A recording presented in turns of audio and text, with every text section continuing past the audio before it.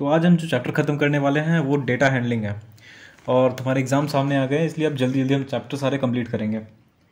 तो इस चैप्टर में जो कंटेंट है, वो तुम यहाँ पर देख सकते हो, ये सारे टॉपिक्स हैं। और इस चीज़ को मैं डिस्क्रिप्शन में भी डाल दूँगा, ताकि अगर तुम्हें कभी रिवाइज करना हो तो तुम कर सकते हो आराम से। शुरू करते हैं इंट्रोडक्शन से। इंट्रोडक्शन डेटा हैंडलिंग क्या होता है? तो डेटा क्या होता है, तुम्हें पता है कि किसी भी चीज़ को, किसी भी तरह के रॉ फैक्ट्स और फिगर्स को हम डेटा कहते हैं, ये बेसिक डेफिनेशन है। अब डेटा किसे कहते हैं? किसी भी इन्फॉर्मेशन तुम कुछ भी लिख दो, उसे डेटा कह सकते हैं, ठीक है? अभी डेटा टाइप्स क्या होते हैं? तुमने कुछ लिख दिया भाई। अब तुम तो वो जो डेटा है, वो किस टाइप का है? उसे हम डेटा टाइप कहते हैं। ये अभी तक मैं बहुत बार बता चुका हूँ अपने वीडियोस में, इसलिए अब जल्दी जल्दी मैं ख़त्म करने वाला हूँ। तो डेटा किस टाइप का है? उसे डेटा टाइप कहते हैं। मान लेते हैं, यहाँ पर मैंने, यहाँ पर मैं पहले फ़ॉन्ट बड़ा कर देता हूँ। अब मैं यहाँ पर, मान लेते हैं मैंने यहाँ पर कुछ लिख दिया, ठीक है? जैसे यहाँ पर मैंने कुछ लेटर्स लिख दिए। अब ये क्या है? ये अल्फ़ाबेटिक लेटर्स है। तो ये जो है, वो हम पाइथन में जब रिप्रेजेंट करेंगे। तो इस तरह से कोड्स के अंदर रिप्रेजेंट करते हैं स्ट्रिंग को। तो ये एक स्ट्रिंग हो गया। तो ये किस तरह का डेटा टाइप है? ये स्ट्रिंग डेटा टाइप है। वहीं अगर हम कोई नंबर लिख दें तो ये न्यूमरिक डेटा टाइप है, जिसे हम इंट कह सकते हैं, या फिर अब ये फ्लोट बन गया, ठीक है? तो इस तरह से, और फिर अगर तुम्हें कॉम्प्लेक्स नंबर भी लिखना है तो यहाँ पर ये रियल पार्ट हो गया, ठीक है? और उसके बाद फिर प्लस दे के यहाँ पर इमेजनरी पार्ट हो गया, और यहाँ पर जे तो ये मेरा एक इमेजिनरी नंबर यानी कि मेरा ये कॉम्प्लेक्स नंबर बन चुका है। तो ये इस तरह के डेटा टाइप्स होते हैं। अब हम एक एक करके इसके अंदर डीप डाइव करते हैं। तो सबसे पहले आता है नंबर्स ठीक है? अब हम न्यूमरिक डेटा टाइप में क्या क्या लेते हैं? इंटीजर्स फिर फ्लोटिंग एक्सपोनेंट नोटेशन कॉम्प्लेक्स ये हमारे न्यूमरिक डेटा टाइप्स हैं, ठीक है? तो शुरुआत करते हैं इंटीजर से। इंटीजर जैसे कि अगर मुझे किसी वेरिएबल में असाइन करना कोई इंटीजर नाम कोई इंटीजर डेटा टाइप तो मैं वो कैसे करूँगा? ए इज़ इक्वल्स टू और फिर कोई एक इंटीजर डाल सकता हूँ मैं ऐसे, ठीक है? या फिर अगर मुझे यूज़र से इनपुट लेना हुआ तो मैं क्या करूँगा? मान लेते हैं B B is equals to int ठीक है? मैंने इंट बाहर पर रखा हुआ है, उसके बाद फिर इनपुट और इनपुट के अंदर जो मुझे प्रॉम्प्ट दिखाना है यूज़र को, मुझे वो लिखना है। एंटर एन इंटीजर ठीक है? तो अगर मैं तुम्हें इसे रन करके दिखाऊँ रन करने के लिए मैं यहाँ पर पहले प्रिंट भी करा देता हूँ ताकि तुम्हें पता चले कि प्रिंट में क्या है सॉरी बी में क्या है और ए में क्या है। तो यहाँ पर मैंने लिखा प्रिंट प्रिंट फ़ंक्शन के अंदर हम डालेंगे ए और बी यानी कि पहले ए प्रिंट होगा, फिर बी प्रिंट होगा। और क्या है दोनों में? मैं यहाँ पर अब तुम्हें रन करके दिखाता हूँ इसे, ठीक है? यहाँ पर एफ़ फाइव करके मैं यहाँ पर इसे रन करूँगा। लिखा हुआ आ रहा है एंटर एन इंटीजर क्या इंटीजर एंटर करूँ मैं? मैं नाइन एंटर कर देता हूँ, ठीक है? तो अब यहाँ पर ये सिक्स प्रिंट कर रहा है और नाइन प्रिंट कर रहा है, ठीक है? तो तो ये था इंटीजर डेटा टाइप इसके बाद हमारे पास बुलियन डेटा टाइप है। बुलियन डेटा टाइप में हमारे पास दो चीज़ें आती हैं। पहला ट्रू और दूसरा फॉल्स उनको लिखने का जो तरीका होता है, वो कुछ इस तरह से होता है। जैसे यहाँ पर अगर मैं कोई एक वैल्यू डाल दूँ कोई एक वेरिएबल है यहाँ पर ए इसमें मैं स्टोर करता हूँ ट्रू तो वो मैं कैसे करूँगा? टी कैपिटल रहेगा, फिर बाकी सब छोटा। ठीक है? अभी वहीं पर मैं बी में फॉल्स कर देता हूँ। ठीक है? तो ये दो चीज़ें हैं। इन चीज़ों को बस हम कहते हैं बुलियन टाइप्स ठीक है? बुलियन डेटा टाइप्स और पाइथन इनको बस इस तरह से समझता है कि कोई चीज़ या तो ट्रू है या तो फॉल्स है इन डेटा टाइप्स में, ठीक है? अगर मैं यहाँ पर ए और बी को प्रिंट करवा रहा हूँ तो क्या प्रिंट होगा? देखो ट्रू और फॉल्स ये प्रिंट हो रहा है, ठीक है? तो सिंपल है। तो ट्रू फॉल्स का भी बहुत ज़्यादा काम आने वाला है हमें अपने प्रोग्राम में। उसके बाद आता है कॉम्प्लेक्स नंबर्स ठीक है?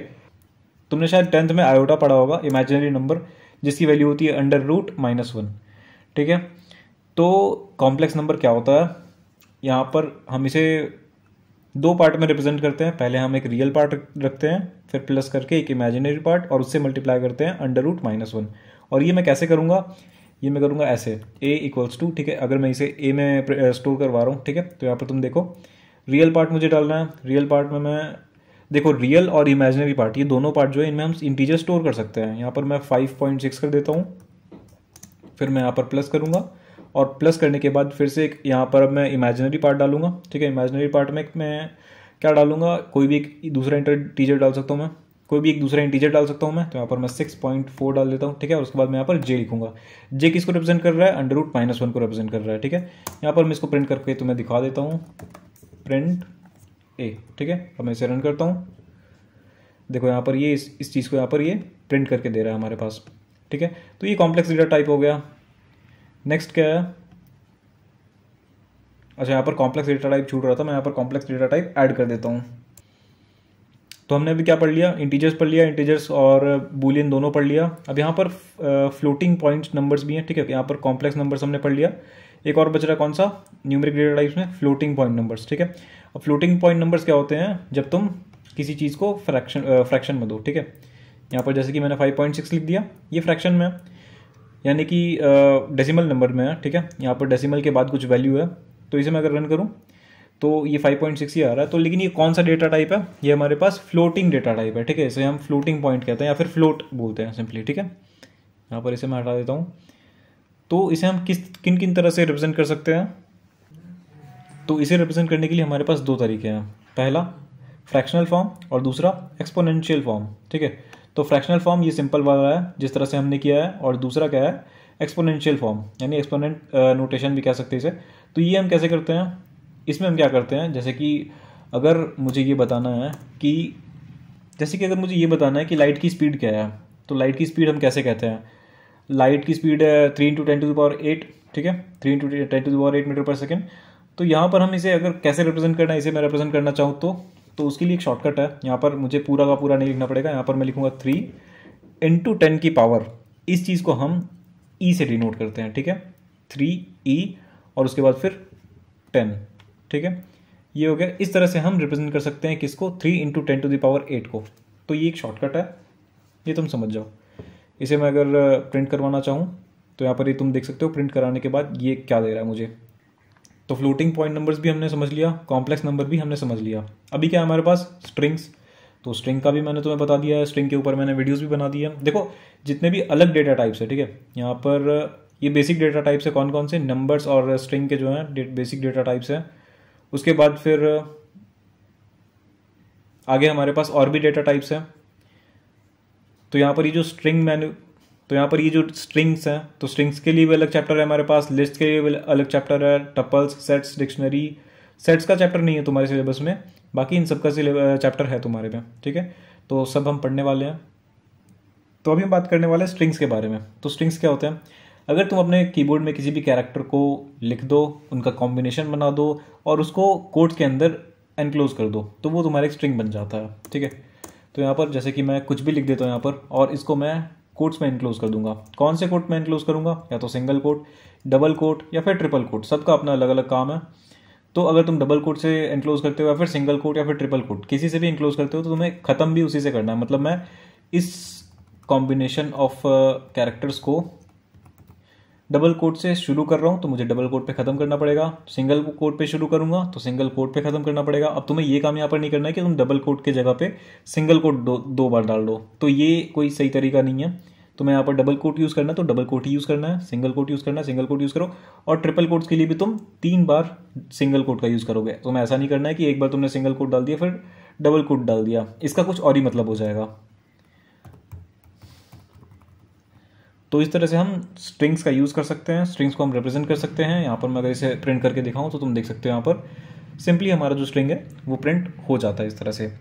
अब यहाँ पर स्ट्रिंग मैंने कुछ बेकार सा लिखा हुआ है, लेकिन यहाँ पर मैं कुछ अच्छा लिख देता हूँ, ठीक है? कुछ बहुत अच्छा लिखता हूँ। तो यहाँ पर मैंने कुछ बहुत अच्छा लिख दिया। अब मैं यहाँ पर तुम्हें एक चीज़ बताना चाहता हूँ कि स्ट्रिंग्स में हमारी इंडेक्सिंग नाम की एक चीज़ होती है। इंडेक्सिंग मतलब यहाँ पर हम हर एक लेटर को पता कर सकते हैं उसके पोजीशन के हिसाब से। मतलब कि देखो, अभी प्रोग्रामिंग में जब इस तरह से कभी कोई सीक्वेंस काउंट होता है ना, किसी भी लैंग्वेज में तुम बात करो तो वो ज़ीरो से स्टार्ट होता है वन से नहीं, वो ज़ीरो से स्टार्ट होता है। तो यहाँ से अगर मैं शुरू करूँ तो ये ज़ीरो पोजीशन पे है, ठीक है? फिर ये फ़र्स्ट पोजीशन पे सेकंड पोजीशन पे थर्ड फोर्थ फिफ्थ सिक्स तो अब यहाँ पर ये इंडेक्स बोला जाता है इन चीज़ों को। किन चीज़ों को बोला जाता है? जैसे मैंने तुम्हें पोजिशन बताया तो आर का पोजिशन क्या है? ज़ीरो तो ज़ीरो इसका इंडेक्स हो गया। उसी तरह से ए का क्या हो गया? वन तो ये ए का जो इंडेक्स है, वो वन हो गया, ठीक है? तो इस तरह से zero one two three four five six तो ये इस तरह से पोजिशंस हो गए इनके। इसे हम इंडेक्स भी कहते हैं। अब यहाँ पर जो हमारे पास इंडेक्सिंग होती है पाइथन में, वो दो तरह की होती है। फॉरवर्ड इंडेक्सिंग भी होती है और बैकवर्ड इंडेक्सिंग भी होती है। फॉरवर्ड इंडेक्सिंग क्या होता है? सिंपल वो जो मैंने अभी तुम्हें बताया। यहाँ से इंडेक्सिंग करो अगर तुम ज़ीरो से तो ये zero one two three four five six ठीक है? तो ये ये सिक्स तक जा रहा है। ऐसा क्यों है? जबकि इसमें कैरेक्टर सेवन है, क्योंकि ये ज़ीरो से शुरू हो रहा है, ज़ाहिर सी बात है। तो यहाँ पर तुम एक चीज़ नोटिस करो कि इंडेक्सिंग जब हम कर रहे हैं फॉरवर्ड इंडेक्सिंग की बात कर रहा हूँ मैं। तो जब हम इंडेक्सिंग कर रहे हैं फॉरवर्ड इंडेक्सिंग तो वो कहाँ से शुरू हो रहा है, कहाँ पे खत्म हो रहा है? जनरल टर्म्स में। मैं यहाँ पर तुम्हें नहीं बोल रहा हूँ कि तुम ये बोलो कि ज़ीरो से लेकर सिक्स तक खत्म हो जा रहा है। मैं तुम्हें जनरल टर्म में बोलूँ, यानी कि तुम्हें इसके अलावा कोई भी और स्ट्रिंग दे दिया जाए तो वो किन टर्म्स में शुरू होगा, किन टर्म्स पे खत्म होगा? अगर मैं size of the string N मान लूँ तो ठीक है? तो वो ज़ीरो से शुरू होगा और एन माइनस वन पे खत्म हो जाएगा, ठीक है? यानी कि, जैसे कि मेरे पास इसमें सात कैरेक्टर्स हैं तो सात एन माइनस वन क्या हो गया? छः यानी ज़ीरो से शुरू हो रहा है छः पे खत्म हो रहा है। तो वो हो गया ज़ीरो टू सिक्स ठीक है? ज़ीरो टू सिक्स ये चीज़ है यहाँ पर। तो ये इसकी इंडेक्सिंग ये है फॉरवर्ड इंडेक्सिंग अब मैं बात करता हूँ बैकवर्ड इंडेक्सिंग के बारे में। तो बैकवर्ड इंडेक्सिंग क्या होती है? बैकवर्ड इंडेक्सिंग जो होती है, वो इधर से शुरू होती है बैकवर्ड से, ठीक है? तो यहाँ पर ये जो लास्ट वाला कैरेक्टर है, ये माइनस वन इसका जो पोजीशन है, वो हो जाएगा। यानी इसकी जो इंडेक्स है, अगर बैकवर्ड इंडेक्सिंग की बात करूँ मैं तो ये माइनस वन हो जाएगी, फिर minus two minus three minus four minus five minus six minus seven ठीक है? तो अगर मैं इसमें जनरल टर्म्स में बात करूँ तो वो कैसे होगा? ये स्टार्ट ये स्टार्ट होगा minus one minus one to N ठीक है? अभी फॉरवर्ड इंडेक्सिंग कैसे हो रही थी? फॉरवर्ड इंडेक्सिंग यहाँ पर से ज़ीरो से लेकर एन माइनस वन तक हो रही थी और बैकवर्ड इंडेक्सिंग कैसी होगी? यहाँ पर माइनस वन से लेकर एन तक ठीक है? तो ये था काम इंडेक्सिंग का। मतलब पता करना कि कौन से पोजीशन पे तुम्हारी जो जो पसंद की चीज़ है वो कहाँ पर है ठीक है? तो यहाँ पर मैंने तुम्हें इंडेक्स तो बता दिया। अब मैं इंडेक्सिंग का तुम्हें यूज़ बता देता हूँ। जैसे कि अगर मैं यहाँ पर प्रिंट कर रहा हूँ ठीक है? तो मुझे अपने आ, मुझे यहाँ पर देखना है कि zero one two second position पे कौन सी चीज़ है? ए के सेकेंड पोजीशन पे कौन सी चीज़ है? तो उसके लिए मैं यहाँ पर ये स्क्वायर ब्रैकेट्स का यूज़ करूँगा और स्क्वायर ब्रैकेट्स के अंदर अपना इंडेक्स लिख दूँगा। तो इंडेक्स क्या है यहाँ पर?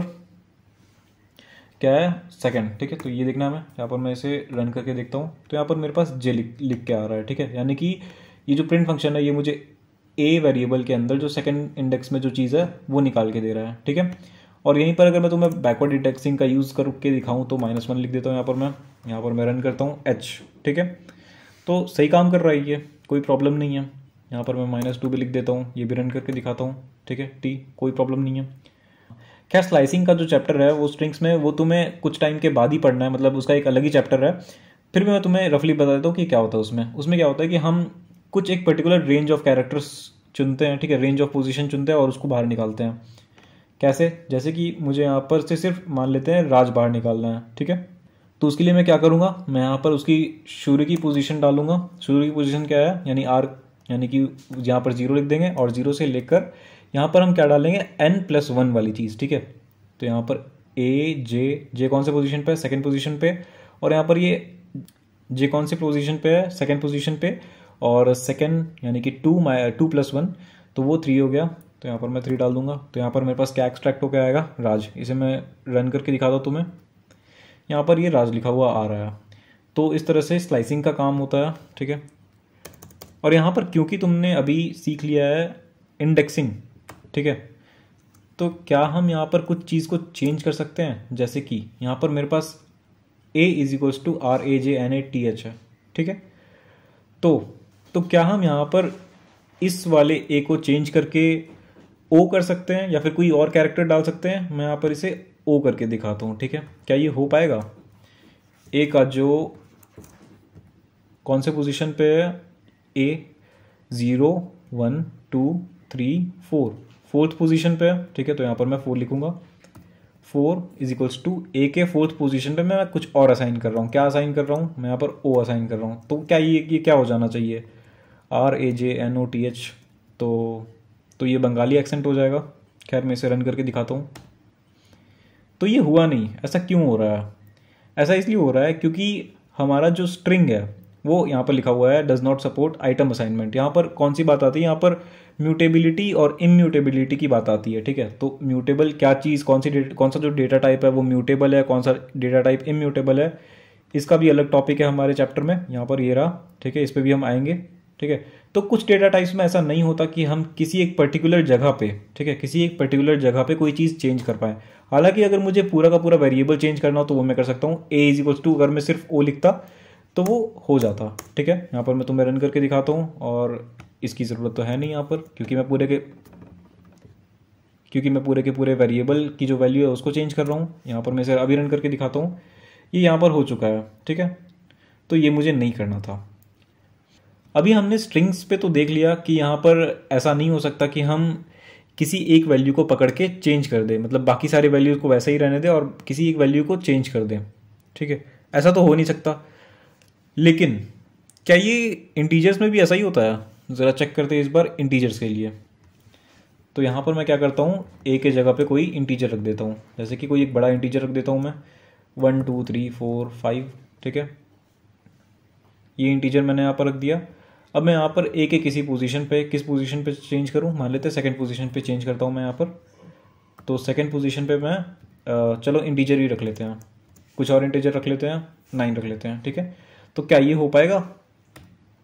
ठीक है, ये भी नहीं हो पाएगा। यानी कि ये भी इम्यूटेबल है। अब म्यूटेबल और इम्यूटेबल क्या होता है? देखो, जहाँ पर चेंज नहीं हो पा रहा है, कोई एक पर्टिकुलर कैरेक्टर जो है, वो चेंज नहीं हो पा रहा है वो इम्यूटेबल हो गया सिंपली और जहाँ पर चेंज कर सकते हैं, वो म्यूटेबल हो गया। अब तुम्हें यहाँ पर जब जैसे ही मैं पढ़ा रहा हूँ तो यहाँ पर तुम्हें चेक करना है कि कौन सी चीज़ म्यूटेबल है, कौन सी चीज़ इम्यूटेबल है। तो अभी तक हमने क्या क्या देख लिया? स्ट्रिंग देख लिया इंटीजर देख लिया। ये दोनों चीज़ क्या है? इम्यूटेबल है, ठीक है? अभी हम आगे भी कुछ डेटा टाइप्स के बारे में, के पास आएँगे। अब तुम्हें वहाँ पर देखना है कौन सी चीज़ म्यूटेबल है, कौन सी चीज़ इम्यूटेबल है। तो ये काफ़ी इंपॉर्टेंट कॉन्सेप्ट है, तुम्हारे एग्ज़ाम्स में आ सकता है, तुम्हें अच्छे से एक्सप्लेन करके लिखना है इसे। आगे बढ़ते हैं। तो स्ट्रिंग्स तो देख लिया हमने, अब हमारे पास आता है लिस्ट तो लिस्ट और टपल्स जो है वो और सेट्स भी ले लो। तो ये सारी चीज़ें जो है वो काफ़ी सिमिलर है, ठीक है? तो क्या इनमें सिमिलैरिटी है? देखो, सबसे पहले बात करते हैं लिस्ट की। तो लिस्ट यहाँ पर मैं एक स्पॉइलर दे देता हूँ कि लिस्ट जो है वो इम्यूटेबल नहीं होता है, वो म्यूटेबल होता है। यानी कि उसकी कोई एक वैल्यू उठा के हम चेंज कर सकते हैं। तो अब बात कर लेते हैं लिस्ट के बारे में। तो लिस्ट क्या होता है? लिस्ट जो है वो सिंपली अलग अलग चीज़ों का अरेंजमेंट हम कह सकते हैं, ठीक है? अलग अलग डेटा टाइप्स का अरेंजमेंट मान लेते हैं कि मान लेते हैं हम एक लिस्ट बना रहे हैं। मान लो कि तुम पिकनिक पे जा रहे हो और तुम एक लिस्ट बना रहे हो। तो कौन सी कौन सी चीज़ की तुम्हें रिक्वायरमेंट होगी? वो सारी आइटम्स तुम वहाँ पर डालोगे, ठीक है? लिस्ट में बहुत सारी चीज़ें लिखोगे कि तुम्हें ये चाहिए ये चाहिए ये चाहिए। तो इतनी सारी चीज़ें तुम लिखने वाले हो। और इसे तुम किस तरह से लिख रहे हो? एक लिस्ट में लिख रहे हो। सिंपल कॉन्सेप्ट यहाँ पर भी है। यहाँ पर भी हम अलग अलग चीज़ों को स्टोर करते हैं, ठीक है? लेकिन ज़रूरी नहीं है कि हमारा जो जिसे हम स्टोर कर रहे हैं, वो सेम डाटा टाइप का हो, ठीक है? मान लेते हैं कि मैंने एक फोल्डर बना लिया, ठीक है? मीडिया नाम का एक फोल्डर बना लिया। अब मैं उसमें क्या क्या स्टोर कर सकता हूँ? मैं फ़ोटोज़ भी स्टोर कर सकता हूँ। मेरा जो मन हो, मैं वो स्टोर कर सकता हूँ। ये प्रोग्राम ये पाइथन फ़ाइल है, मैं इसे भी स्टोर कर दूँ, ठीक है? तो मुझे जो मन हो, मैं वो वहाँ पर स्टोर कर देता हूँ, ठीक है? जो मन हो, वो स्टोर कर सकता हूँ। तो सिंपल यही काम है लिस्ट का। वो क्या होता है कि एक अरेंजमेंट होता है अलग अलग चीज़ों का अलग अलग वैल्यूज़ का अरेंजमेंट होता है। और ये ज़रूरी नहीं है कि हर एक अरेंजमेंट हर एक आइटम जो है वो जो कि उसमें स्टोर की हुई है, वो सारे के सारे सेव डाटा टाइप की हो। हम किसी भी डाटा टाइप को स्टोर कर सकते हैं। इंटीजर को स्टोर कर सकते हैं स्ट्रिंग को स्टोर कर सकते हैं, किसी को भी। चलो एक लिस्ट बना के दिखाता हूँ मैं तुम्हें। तो यहाँ पर लिस्ट बनाने का कौन सा तरीका होता है? ये मैंने यहाँ पर एंगल ब्रैकेट्स का यूज़ कर दिया। ये मेरा एक लिस्ट बन चुका है, ठीक है? अगर मैं तुम्हें दिखाऊँ कि ये कौन सा डेटा टाइप है तो मैं यहाँ पर सिंपली टाइप करता हूँ, ठीक है? और टाइप फ़ंक्शन के अंदर मैं यहाँ पर एक को डाल के प्रिंट करवाता हूँ। तो ये मुझे बता देगा कि ये एक लिस्ट बन चुका है, ठीक है? देखो, ये एक लिस्ट बन चुका है। तो यहाँ पर लिस्ट के अंदर हम यहाँ पर कुछ वैल्यूज़ डालेंगे। कौन कौन से वैल्यूज़ डालेंगे? मान लेते हैं यहाँ पर मैंने पहले वन डाल दिया, ठीक है? वन के बाद कोई एक स्ट्रिंग डाल देते हैं ए बी सी डाल देते हैं। इसके बाद और कुछ बताओ। इसके बाद मैं क्या डाल देता हूँ? मैं यहाँ पर कोई फ्लोटिंग पॉइंट डाल देता हूँ। चलो ठीक है। तो ये सारी चीज़ें मैंने यहाँ पर डाल दी। ये मेरा एक लिस्ट बन चुका है। यहाँ पर मैंने कुछ भी बेकार सा डाल दिया है कोई कोई मतलब नहीं बनता इनका। लेकिन फिर भी मैंने डाल दिया सिर्फ़ तुम्हें समझाने के लिए। तो यहाँ पर मैं टाइप फ़ंक्शन को हटा देता हूँ। तो यहाँ पर मैं टाइप फ़ंक्शन को हटा रहा हूँ। हम्म, तो अब यहाँ पर मैं इसे प्रिंट करूँ। यहाँ पर प्रिंट करने के बाद ये इसी फॉर्म में आ जा रहा है। तो ये एक लिस्ट है ठीक है? तो इसे हम लिस्ट कहते हैं। अब लिस्ट में हम क्या क्या और ऑपरेशन परफॉर्म कर सकते हैं, उसके लिए अलग चैप्टर है लिस्ट मैनिपुलेशन का। सिमिलरली स्ट्रिंग्स के लिए भी अलग चैप्टर है स्ट्रिंग्स में बहुत सारे काम होते हैं। लिस्ट में अलग काम होते हैं, बहुत सारे टपल्स में काम होते हैं डिक्शनरीज में काम होते हैं। सबके लिए अलग चैप्टर है, तुम्हें टेंशन नहीं लेना। या फिर बोल सकते हैं, शायद तुम्हें और टेंशन लेना। अब क्योंकि मैंने तुम्हें शुरू में ही बताया था कि लिस्ट जो है वो म्यूटेबल होता है तो यहाँ पर हम चेंज करके देखते हैं कोई एक पर्टिकुलर फ़ाइल को। यहाँ पर मैं ए लिखता हूँ। और मान लेते हैं, यहाँ पर मैं ए बी सी ई जो ये जो लिखा हुआ है, इसको मैं चेंज करता हूँ, ठीक है? तो मुझे यहाँ पर कौन सी पोजीशन डालनी होगी? वन ठीक है? इस पोजीशन पे हम चेंज करेंगे। तो क्या चेंज करते हैं यहाँ पर हम? मान लेते हैं यहाँ पर मैं क्या चेंज करूँ? यहाँ पर कुछ, फिर से कुछ अच्छी चीज़ लिखते हैं। ठीक है, मैंने कुछ अच्छी चीज़ फिर से लिख दी।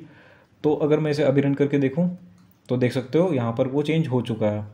तो किसी एक पर्टिकुलर वैल्यू को यहाँ पर मैंने चेंज कर दिया है। अगर मैं अब मान लेते हैं कि बी को चेंज करना है मुझे ठीक है? यहाँ पर देखो तुम लिस्ट के अंदर स्ट्रिंग है और मैं स्ट्रिंग के किसी वैल्यू को चेंज कर रहा हूँ तो ये क्या होना चाहिए?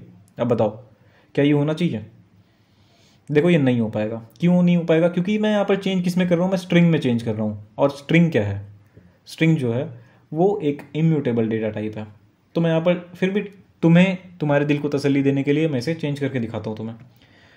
तो यहाँ पर मैं रख देता हूँ ज़ीरो वन फ़र्स्ट पोजिशन पर अभी, ठीक है? तो यानी कि लिस्ट के पहले एलिमेंट पहले एलिमेंट नहीं सॉरी ये फ़र्स्ट एलिमेंट पे यानी कि ज़ीरो के बाद वन यानी वन पोजीशन पे फ़र्स्ट इंडेक्स के एलिमेंट पे जो पहला एलिमेंट है ठीक है यानी कि इसके अंदर जो पहला कौन सा ये ज़ीरो और फिर ये वन बी ये जो है बी उसके जगह पे क्या कर दो ये पूरा का पूरा राजनाथ ये रख दो ठीक है यानी कि ए फिर राजनाथ फिर सी और ई e, ये बन जाना चाहिए इसे और फिर प्रिंट होना होके आना चाहिए तो क्या ऐसा हो पाएगा ये नहीं हो पाएगा क्योंकि हम चेंज किस पे कर रहे हैं स्ट्रिंग में कर रहे हैं मैं ज़रा रन करता हूँ इसे देखो यहाँ पर ये एरर आ चुका है तो इस तरह से हम लिस्ट पे काम कर सकते हैं। अब आता है हमारे पास क्या? अब आता है हमारे पास टपल्स ठीक है? टपल्स क्या होते हैं? Tuple same to same list है ठीक है? जैसा तुमने लिस्ट, लिस्ट समझा वैसा ही सेम टू सेम टपल है। बस यहाँ पर ब्रैकेट्स का चेंज होगा ठीक है? जिस तरह से हम जब हम टपल को रिप्रेजेंट करेंगे तो यहाँ पर बस ब्रैकेट में स्क्वायर ब्रैकेट्स की जगह हम यहाँ पर ये ये जो पैरेंथेसिस है इसे लगाएँगे ठीक है? और ये लगाएँगे बाकी सब कुछ सेम रहेगा। लेकिन और ये जो है, ये तो सही नहीं होगा तो इसे मैं हटा देता हूँ यहाँ पर। तो सबसे पहले मैं इसको कमेंट आउट कर देता हूँ, ठीक है? इसे मैंने कमेंट आउट कर दिया है। यानी कि अब ये लाइन जो है, इसका कोई इम्पैक्ट नहीं होगा हमारे प्रोग्राम में, ठीक है? हमारे पास अभी मीनिंगफुल दो ही लाइन है, दो ही लाइन को हमारा जो इंटरप्रेट है वो रीड करेगा। अब मैं इसे अगर रन करके दिखाऊँ तुम्हें तो क्या हो रहा है? ये सेम टू सेम लिस्ट के जैसा ही रन हो जा रहा है। बस यहाँ पर ब्रैकेट्स का चेंज है, ठीक है? तो ऐसा क्यों है? ऐसा क्यों बनाया गया? जब तुम्हारा लिस्ट और टपल दोनों सेम है तो क्यों बनाया गया ऐसा? ऐसा इसलिए बनाया गया क्योंकि हमारा जो टपल है, वो इम्यूटेबल होता है। तो यहाँ पर अब मैं तुम्हें किसी कोई किसी एक वैल्यू को चेंज करके दिखाता हूँ। क्या वो होगा? तो क्या वो होगा? ज़रा मैं इसे रन करके देखूँ। तो यहाँ पर ये एरर आ गया। नहीं होगा। मतलब कि हमारा जो टपल है, वो इम्यूटेबल होता है। सेम टू सेम लिस्ट है, बस ब्रैकेट्स का अंतर है और और क्या अंतर है? और ये अंतर है कि ये इम्यूटेबल है, ठीक है? अभी इंट्रोडक्शन पढ़ रहे हैं हम, इसलिए हमने अभी बस दो ही अंतर जाना है। आगे और भी बहुत सारी चीज़ें हैं, जब हम इनका इंडिविजुअल चैप्टर पढ़ेंगे लिस्ट का अलग टपल्स का अलग तो उसमें तुम्हें और चीज़ें मिलेंगी अलग, ठीक है? आगे बढ़ते हैं। अब हमारे पास है सेट्स ठीक है? तो सेट्स का क्या है कि तुम्हारे सिलेबस में कोई चैप्टर है नहीं इसका, लेकिन फिर भी मैं तुम्हें एक इंट्रोडक्शन देता हूँ। अगर क्लास इलेवन में तुमने मैथ्स लिया होगा तो तुमने पढ़ा होगा सेट्स का एक चैप्टर पहला ही चैप्टर है, ठीक है? तो वो चैप्टर तुमने पढ़ा होगा। उसमें भी अलग अलग आइटम्स का जो है वो अरेंजमेंट किया जाता है, लेकिन इसमें भी एक अलग ब्रैकेट का यूज़ किया जाता है। पहले मैं यहाँ पर तुम्हें ब्रैकेट दिखा देता हूँ, ये जो कली ब्रेसेस है, ये यूज़ किया जाता है, ठीक है? तो इस तरह से हम सेट्स को रिप्रेजेंट करते हैं, और सेट्स की खास बात यह है कि कोई भी एलिमेंट यहाँ पर रिपीट नहीं होता, ठीक है? अगर तुम यहाँ पर, मैंने यहाँ पर जैसे कि वन डाला हुआ है तो वन को अगर मैं यहाँ पर फिर से डाल दूँ, यहाँ पर फिर से मैं यहाँ पर वन डाल देता हूँ तो यहाँ पर देखो मैंने दो चीज़, दो बार वन डाला हुआ है, ठीक है? तो अगर मैं इसे प्रिंट करवाना चाहूँ इसको हम पहले कमेंट आउट कर देते हैं। हम नहीं चाहते कि इसके वजह से कोई इम्पैक्ट पड़े हमारे प्रोग्राम में। तो अगर मैं इसे अभी रन करवाऊँ, ठीक है?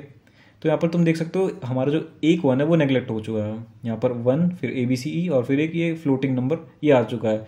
तो ये खासियत है सेट्स की। क्या खासियत है? कि ये डुप्लीकेट आइटम्स को नहीं लेता। ठीक है?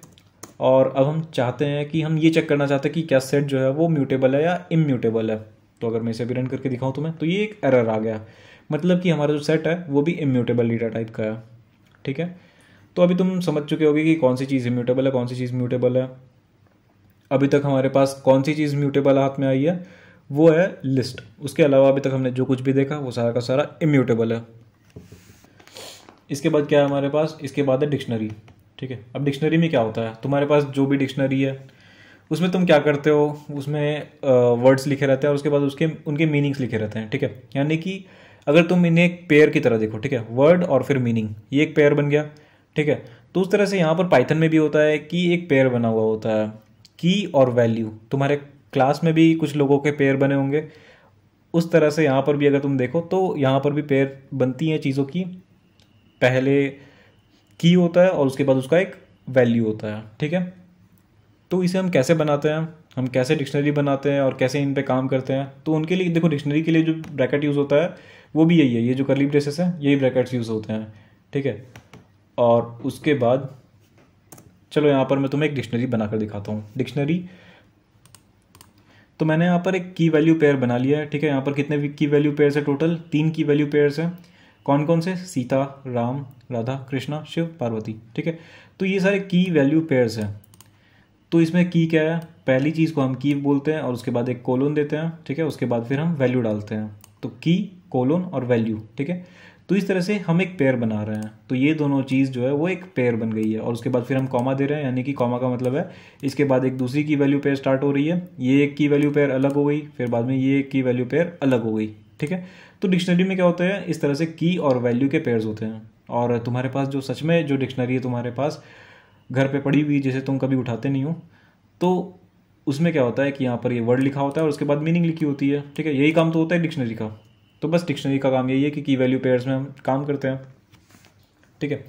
अभी डिक्शनरी में हम इंडेक्सिंग कैसे करते हैं? यहाँ पर जो मैं इंडेक्सिंग करना चाहूँ तो मैं कैसे करूँ?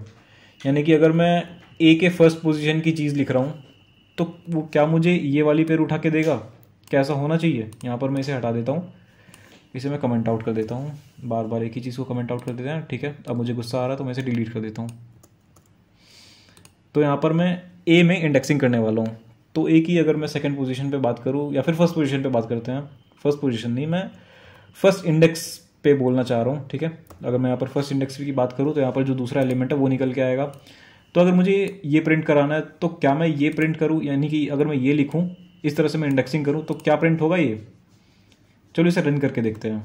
देखो यहाँ पर ये एरर आ रहा है। ऐसा क्यों हो रहा है?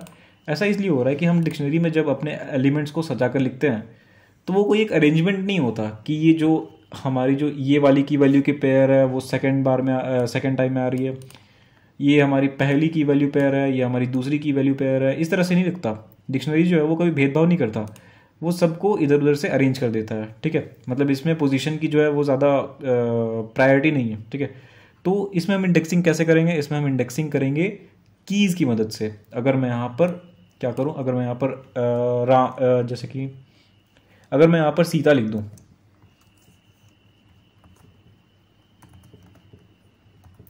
तो यहाँ पर सीता जो है वो एक की है।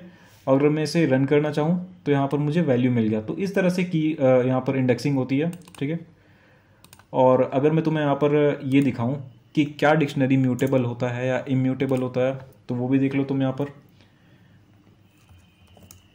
हम्म।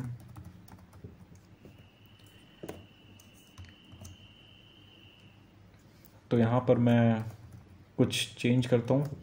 ठीक है, यहाँ पर मैंने ये चेंज किया। अगर मैं इसे अभी रन करके देखूँ तो यहाँ पर ये नहीं हो पा रहा है। अच्छा यहाँ पर मैंने ये मिस्टेक किया कि यहाँ पर इसे मुझे स्ट्रिंग के फॉर्म में देना है, क्योंकि की जो है, वो स्ट्रिंग है।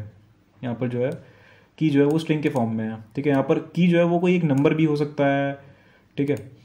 कोई एक फ्लोटिंग पॉइंट भी हो सकता है, लेकिन ध्यान रहे कि तुम जब भी कोई की बना रहे हो तो वो हमेशा एक इम्यूटेबल डेटा टाइप का हो, ना कि म्यूटेबल डेटा टाइप का हो, ठीक है? तो अगर मैं इसे अभी रन करूँ तो यहाँ पर ये क्या मुझे दे रहा है? ये श्री राम दे रहा है, ठीक है? यानी कि इसका मतलब क्या हुआ कि हमारे डिक्शनरी के अंदर जो यहाँ पर, सीता जो है, इस की के अंदर जो वैल्यू है वो चेंज कर रहा है, राम से हटा के वो श्री राम कर रहा है, ठीक है? तो यहाँ पर ये चेंज हो जा रहा है, यानी कि हमारी जो डिक्शनरी है, वो म्यूटेबल डेटा टाइप की है। तो अभी तक मुझे कौन कौन सी डेटा टाइप जो है वो म्यूटेबल मिले? मुझे एक लिस्ट मिला और डिक्शनरी मिला। ये दोनों मुझे डेटा टाइप मिले म्यूटेबल और बाकी सब इम्यूटेबल डेटा टाइप्स हैं। तो हमारे पास आता है म्यूटेबिलिटी और इम्यूटेबिलिटी का कॉन्सेप्ट तो अब तक मैंने तुम्हें जितने भी डेटा टाइप्स है, सबके बारे में बताया कि कौन सी चीज़ म्यूटेबल होती है, कौन सी चीज़ इम्यूटेबल होती है तो यहाँ पर मैंने तुम्हें बताया बहुत कुछ, ठीक है? तो अब मुझे फिर से बताने की ज़रूरत नहीं है, लेकिन यहाँ पर एक कॉन्सेप्ट यहाँ पर रह रहा है जो कि तुम्हें जानना ज़रूरी है म्यूटेबल और इम्यूटेबल में, ठीक है? तो वो क्या कॉन्सेप्ट है? जब मैं तुम्हें इससे पहले वाला जो चैप्टर था पाइथन फंडामेंटल्स था शायद तो उसमें मैं तुम्हें बता रहा था, हम जब सी और सी प्लस प्लस में प्रोग्रामिंग करते हैं तो उसमें क्या होता है कि कोई एक वैल्यू जो है, वो किसी एक वेरिएबल में वो किसी एक वेरिएबल में स्टोर होती है, ठीक है? लेकिन पाइथन में ऐसा नहीं होता है। पाइथन में क्या होता है कि कोई भी एक जो वैल्यू है, वो उस वेरिएबल को रेफर कर रही होती है। या फिर हम ये कह सकते हैं कि वो जो वेरिएबल है, वो उस वैल्यू को रेफर कर रहा होता है, ना कि उसमें स्टोर होता है, ठीक है? यानी कि अगर मैं ए इक्वल्स टू वन लिख रहा हूँ तो ऐसा नहीं है कि ए ए के ए जो है ए के अंदर वन स्टोर हो गया। ऐसा नहीं है। तो ये चीज़ को समझाने के लिए जो सबसे बेस्ट डेटा टाइप है मेरे पास, वो है लिस्ट क्योंकि ये इम्यूटेबल है। तो इससे मैं तुम्हें अब समझाता हूँ। तो यहाँ पर मैं जैसे कि ए इज़ इक्वल्स टू मान लेते हैं वन लिख दिया, ठीक है? तो ये क्या कर रहा है? ए को रेफर कर रहा है, ना कि ए को स्टोर कर रहा है। इसे मैं समझा सकता हूँ किससे? लिस्ट से। तो उसके लिए मैं यहाँ पर एक लिस्ट बनाता हूँ। चलो मैं यहाँ पर एक लिस्ट बना लेता हूँ। यहाँ पर मैं वन लिखता हूँ, ठीक है? फिर मैं यहाँ पर कोई एक कैरेक्टर डाल देता हूँ। फिर कोई और कैरेक्टर डाल देता हूँ। मैं कुछ भी डाल रहा हूँ यहाँ पर। फिर मैं कुछ भी डाल रहा हूँ। फिर और कुछ भी डाल रहा हूँ मैं यहाँ पर? नहीं, ऐसे नहीं डाल सकते। तो यहाँ पर मैंने कुछ बेकार सी चीज़ें डाल दी। अब इनको डालने के बाद यहाँ पर मैं क्या करता हूँ कि मैं एक और वेरिएबल बनाता हूँ और इस वेरिएबल के अंदर मैं ए को डालता हूँ, ठीक है? अब तुम, ठीक। तो अब मैंने यहाँ पर बी में जो है वो ए असाइन कर दिया, ठीक है? अब मैं क्या करता हूँ इसके बाद कि ए में कुछ चेंजेस करता हूँ तो फिर मैं देखूँगा कि क्या वो चेंज बी में भी हुआ है, या फिर क्या वो चेंज बी में नहीं हुआ है, ठीक है? तो ठीक है, यहाँ पर ए में मैं क्या कर कर रहा हूँ कि मैं ए की जो सेकंड इंडेक्स पे जो चीज़ है, यानी कि ये जो एफ़ एस ई एफ़ ये जो चीज़ है, इसको हटा के मैं कोई एक अच्छी सी चीज़ रख देता हूँ, ठीक है? तो यहाँ पर मैंने इसको रिप्लेस कर दिया। तो तुम्हें पता है कि ये एक म्यूटेबल डेटा टाइप है तो ये रिप्लेस हो चुका होगा, अगर तुम्हें कोई डाउट है तो मैं इसे रन करके दिखा देता हूँ। मैं रन करता हूँ ए को, ठीक है? अगर मैं इसे रन करूँ तो यहाँ पर देखो, यहाँ पर ये बेकार सी चीज़, ये अच्छी सी चीज़ से रिप्लेस हो चुकी है, ठीक है? तो अब मैं यहाँ पर क्या करने वाला हूँ कि मैं यहाँ पर चेक करने वाला हूँ कि क्या ये चेंज बी में भी आया है? क्योंकि ए जो एक लिस्ट था, उस लिस्ट को मैंने बी में असाइन कर दिया, ठीक है? अब मैं यहाँ पर ए के किसी चीज़ को चेंज कर रहा हूँ तो क्या वो चेंज क्या वो चेंज बी में भी आएगा? ज़रा मैं यहाँ पर देखता हूँ। बी लिख के देखता हूँ। यहाँ पर मैं अगर रन करूँ तो रन करने के बाद यहाँ पर मेरे पास सेम चीज़ आ रहा है। यानी कि बी में भी वो चेंज आ गया है। ठीक है? तो ऐसा क्यों हो रहा है? मतलब इसमें मैं क्या बताना चाह रहा हूँ तुम्हें? मैं ये बताना चाह रहा हूँ कि देखो एक कुछ चीज़ थी, ठीक है? अब मैंने ए को किसी चीज़ में असाइन कर दिया। अब मैं ए में जो भी चेंजेस कर रहा हूँ, वो बी में भी हो रहा है। लेकिन लेकिन अगर मैं यहाँ पर मैं ये सोचूं कि यहाँ पर स्टोर करने का कॉन्सेप्ट जो है वो यूज़ हो रहा है, यानी कि ए में अगर मैंने ये चीज़ स्टोर हो गया, ठीक है? स्टोर कर दिया तो ये चीज़ ए में स्टोर हो गई। अब बी में मैं ए को स्टोर कर रहा हूँ तो बी में ए स्टोर हो गया। अब मैं ए में चेंज कर रहा हूँ तो फिर ए में जो चीज़ स्टोर की हुई थी, वो चीज़ चेंज हो गई। तो इससे बी को तो कोई फ़र्क होना नहीं चाहिए था ना? इससे क्यों बी को फ़र्क पड़ रहा है? तो ये जो चीज़ होती है स्टोर होने वाला कॉन्सेप्ट ये सी सी प्लस प्लस इन लैंग्वेजेस में होती है, ठीक है? और यहाँ पर अगर मैं पाइथन के बारे में बोलूँ तो पाइथन में क्या होता है? रेफर करने का कॉन्सेप्ट होता है। यानी कि हमारे पास ए में मैंने कोई एक वैल्यू बनाई, ठीक है? अब ये जो वैल्यू है, ये हवा में तैर रही है। और हमारा जो वेरिएबल है ए वो वो जो वेरिएबल है ए वो उस चीज़ को रेफ़र कर रहा है। और फिर जब मैं ए को बी में रेफ़र कर बी में असाइन कर दे रहा हूँ तो बी जो है, वो बी भी उस हवा में तैरती हुई वैल्यू को रेफ़र कर रहा है, ठीक है? यानी यानी हमारे ये जो दोनों लड़के हैं, वो एक ही लड़की को देख रहे हैं। तो ये कॉन्सेप्ट यहाँ पर यूज़ हो रहा है रेफ़र करने का, ना कि स्टोर करने का मतलब शादी करने का। अब आगे बढ़ते हैं। अब आता है हमारे पास ऑपरेटर्स तो ऑपरेटर्स जो होते हैं, वो काफ़ी बार मैंने तुम्हें बताया ऑपरेटर्स बहुत ईजी है, जल्दी से जल्दी मैं तुम्हें यहाँ पर फिर से रिवाइज करवा देता हूँ। तो ऑपरेटर्स कौन कौन से होते हैं? सबसे पहले बात करते हैं अरिथमेटिक ऑपरेटर्स के बारे में। तो अरिथमेटिक ऑपरेटर्स क्या होते हैं? यानी plus minus multiply division modulus ठीक है? तो ये सारे ऑपरेटर्स होते हैं और यहाँ पर एक और चीज़ मैं तुम्हें बता देता हूँ, अगर किसी को नहीं पता हो तो तो यहाँ पर अगर मैं मॉड्यूलस ऑपरेटर का यूज़ तुम्हें बता रहा हूँ तो जैसे कि मान लेते हैं वन टू और यहाँ पर मैं परसेंट का साइन दे रहा हूँ और फिर डिवाइड ये परसेंट के बाद टू डाल रहा हूँ, ठीक है? तो यहाँ पर क्या प्रिंट होना चाहिए? जिनको पता है वो पहले मुझे बताओ क्या होना चाहिए। ठीक है तो मैं एज्यूम कर रहा हूँ कि जिन्हें जिन्हें पता है उन्होंने ज़ीरो आंसर दिया होगा, अगर मैं इसे रन करूँ तो यहाँ पर तुम देख सकते हो ज़ीरो आ रहा है। ठीक है? इस चीज़ को मैं फिर से ज़रा सही कर देता हूँ। तो यहाँ पर तुम देख सकते हो ज़ीरो आ रहा है। ऐसा क्यों हो रहा है? तो ये जो मॉड्यूलर ऑपरेटर है ना, ये मुझे रिमाइंडर देता है। यानी कि अगर मैं ट्वेल्व को टू से डिवाइड करूँ तो रिमाइंडर कितना आ रहा है? क्या आ रहा है? ज़ीरो आएगा ऑब्वियसली क्योंकि two into six is equals to twelve ठीक है? अब इसका यूज़ बहुत ज़्यादा होता है। जब भी तुम्हें कोई ये कहे कि तुम्हें आई जब भी तुम्हें कोई ऐसा है कि तुम्हें एक ऐसा प्रोग्राम बनाना है जिसमें तुम्हें चेक करना है कि कोई दी हुई एक वैल्यू है, कोई कोई दिया हुआ एक नंबर है, अब चेक करो कि वो इवन है ऑड है। अगर तुम्हें वो चेक करना है तो सिंपली तुम क्या करोगे कि उसे टू से डिवाइड करोगे और चेक करोगे कि रिमाइंडर ज़ीरो आ रहा है वन आ रहा है। अगर रिमाइंडर ज़ीरो आया तो ऑब्वियसली वो इवन है और अगर जो रिमाइंडर है वो वन आ गया, यानी कि वो ऑड है। तो इस तरह से सिंपली तुम चेक कर सकते हो इवन और ऑड में।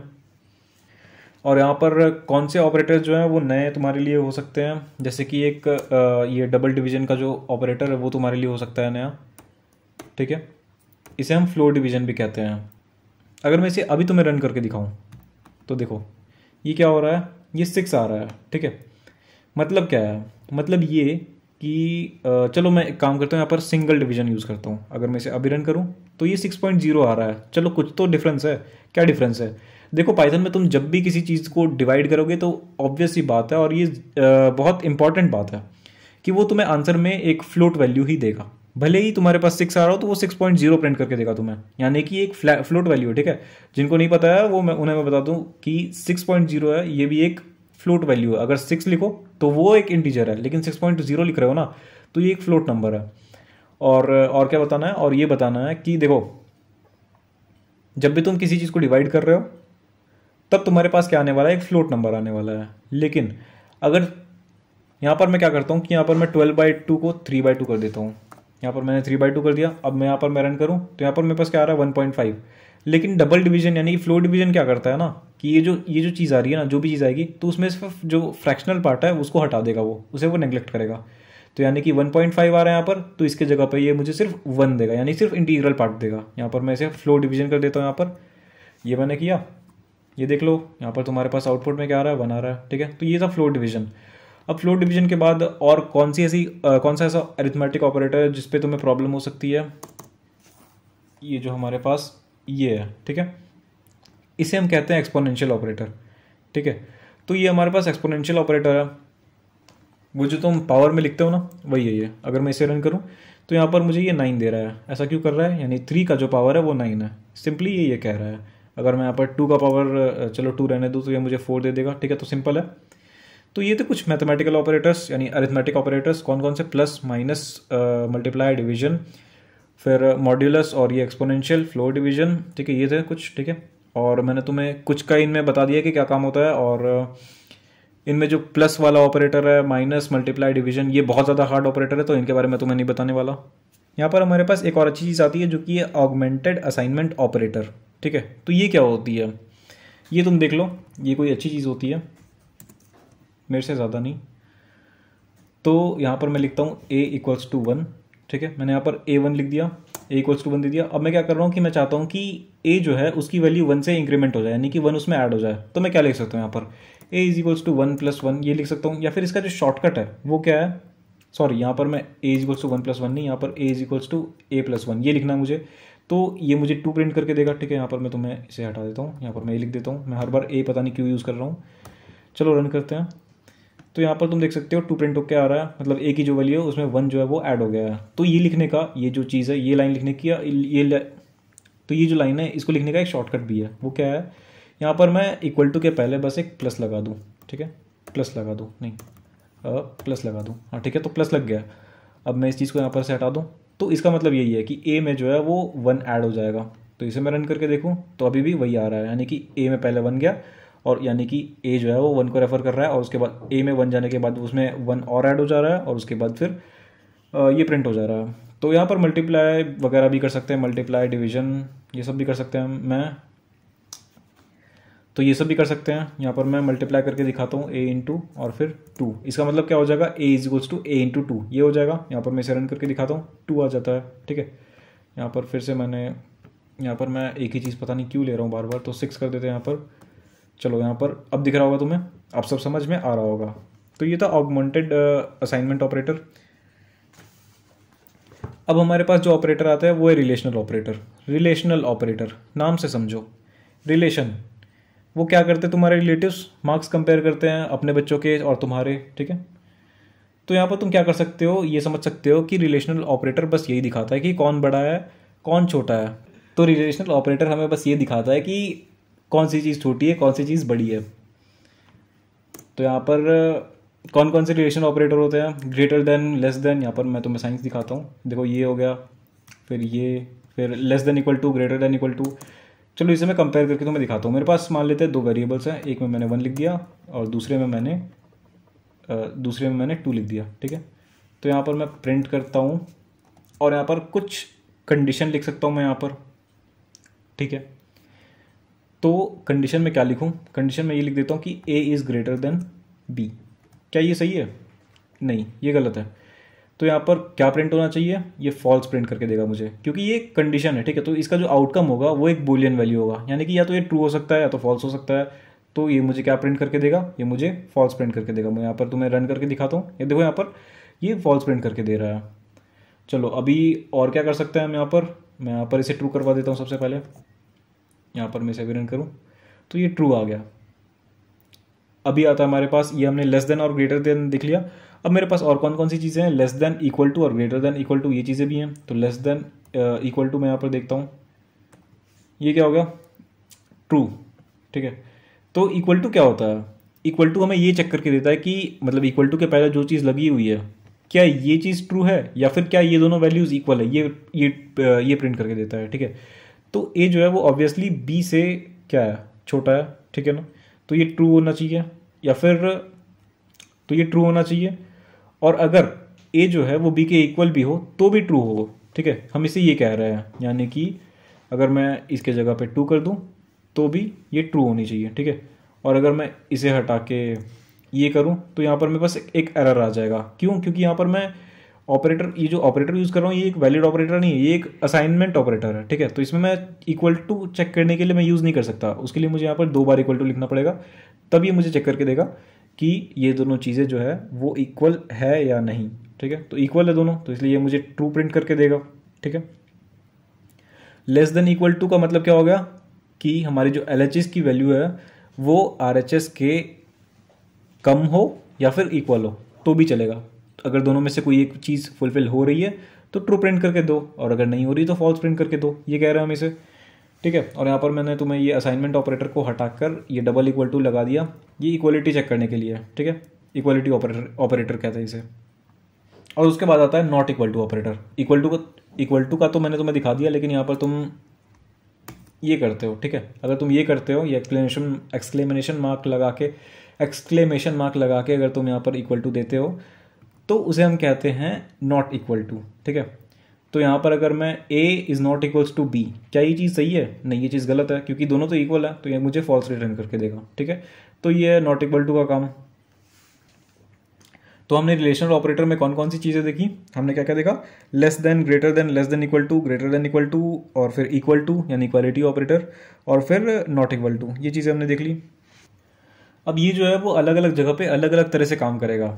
मतलब कि अगर मैं नंबर्स में देखूँ, और अगर फिर मैं यहाँ पर इसे अगर स्ट्रिंग्स में दिखाऊँ तो वो अलग तरीके से काम करेगा। मतलब फिर भी किस तरह से काम करेगा, वो भी मुझे देखना है अभी, ठीक है?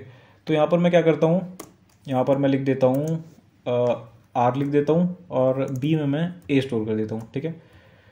तो यहाँ पर मैं मैं एज्यूम करके चलता हूँ। चलो मैं एज्यूम कर लेता हूँ आर वो जो है, वो आर की जो वैल्यू है, वो बड़ी है। तो क्या ये सही रिटर्न करेगा? क्या ये ट्रू रिटर्न करेगा? अगर मैं इसे रन करके दिखाऊँ तो ये ट्रू बोल रहा है। ये कह रहा है कि आर जो है, वो बड़ी है ए से। ठीक है? लेकिन अगर मैं यहाँ पर, चलो, यहाँ पर मैं स्मॉल ए कर दूँ, और अगर मैं इसे अभी रन करूँ तो यहाँ पर ये फॉल्स कह रहा है। ऐसा क्यों हो रहा है? और अगर मैं इसे इक्वल भी करूँ तो भी ये फॉल्स कहेगा। ऐसा क्यों होगा? तो यहाँ पर एक कॉन्सेप्ट आता है आस्की कोड का, ठीक है? तो जब मैंने तुम्हें डेटा रिप्रेजेंटेशन का चैप्टर पढ़ाया था तो उस वक्त मैंने, शायद तुम्हें बताया भी था कि आस्की कोड्स क्या होते हैं, ठीक है? तो तुम्हारे कीबोर्ड पे जितने भी कैरेक्टर्स हैं, ठीक है, जिसे तुम टाइप करते हो तो वो क्या होते हैं, उनके, उनका हर एक का एक कोड होता है। मतलब तुम्हारे पास लिखा हुआ है ए तो उसका भी एक कोड है उसके पास, ठीक है? फिर लिखा हुआ है तुम्हारे पास वन तो वन का भी एक अलग कोड है। फिर तुम्हारे पास कोई एक सिंबल कोई एक स्पेशल कैरेक्टर है, जैसे कि एट द रेट हो गया एक्सक्लेमेशन हो गया हैशटैग हो गया तो इनका भी एक अलग अलग कैरेक्टर्स होते हैं इनके भी अलग अलग कोड्स होते हैं, ठीक है? उन्हें हम कहते हैं आस्क कोड्स ठीक है? तो अगर तुम्हें देखना है कि किसका कोड क्या है तो वो तुम गूगल पे जाके लिख सकते हो। तो यहाँ पर मैं सिंपली ट्राई करता हूँ। ये लिखने का आज की कोड्स ठीक है? अच्छा तो यहाँ पर इंटरनेट कनेक्शन चाहिए। हाँ तो यहाँ पर मेरे पास आज की कोड्स का जो रिज़ल्ट है वो आ चुका है। यहाँ पर तुम देख सकते हो, यहाँ जो डी ई यानी डेसिमल में जो कुछ भी लिखा हुआ है ना, ये सारे आस्की आस्की कोड्स है, ठीक है? और यहाँ पर किसके आज की कोड्स है? वो इन चीज़ों के आज की कोड है। यहाँ पर ये जो सिंबल है सिंबल लिखा हुआ है, इन चीज़ों के आज की कोड है। तो यहाँ पर अगर मैं नीचे आऊँ तो यहाँ पर तुम देख सकते हो, यहाँ पर कैरेक्टर है, उसका कोड अलग लिखा हुआ है, ठीक है? यहाँ पर तो यहाँ पर अगर मैं ए पे आऊँ तो ए का अलग कोड लिखा हुआ है, यहाँ पर सिक्सटी फाइव लिखा हुआ है, ठीक है? तो हर एक चीज़ का अलग अलग यहाँ पर कोड लिखा हुआ है। तो यहाँ पर तुम देख सकते हो ए का क्या कोड है? सिक्सटी फाइव अगर मैं वहीं पर देखूँ आर तो आर का क्या कोड है? एटी टू तो यहाँ पर कैपिटल आर का जो आज की कोड है, वो एटी टू है। तो अब तुम समझ रहे होगे कि ये आर को बड़ा क्यों बता रहा था? और अब तुम देखो कि यहाँ पर अपर केस लिखा हुआ है। मतलब क्या? यानी कि लोअर केस और अपर केस चीज़ों का अलग अलग होता है, ठीक है? आस्की कोड्स तो यहाँ पर कैपिटल आर का अलग है और स्मॉल आर का अगर मैं तुम्हें दिखाऊँ तो वो ये ये रहा ठीक है? तो इसलिए स्मॉल आर बड़ा था, ठीक है? और स्मॉल ए का स्मॉल ए बड़ा था सॉरी तो स्मॉल ए किससे बड़ा था? यहाँ पर मैं तुम्हें दिखाता हूँ। स्मॉल ए किससे बड़ा है? कैपिटल आर से बड़ा है, ठीक है?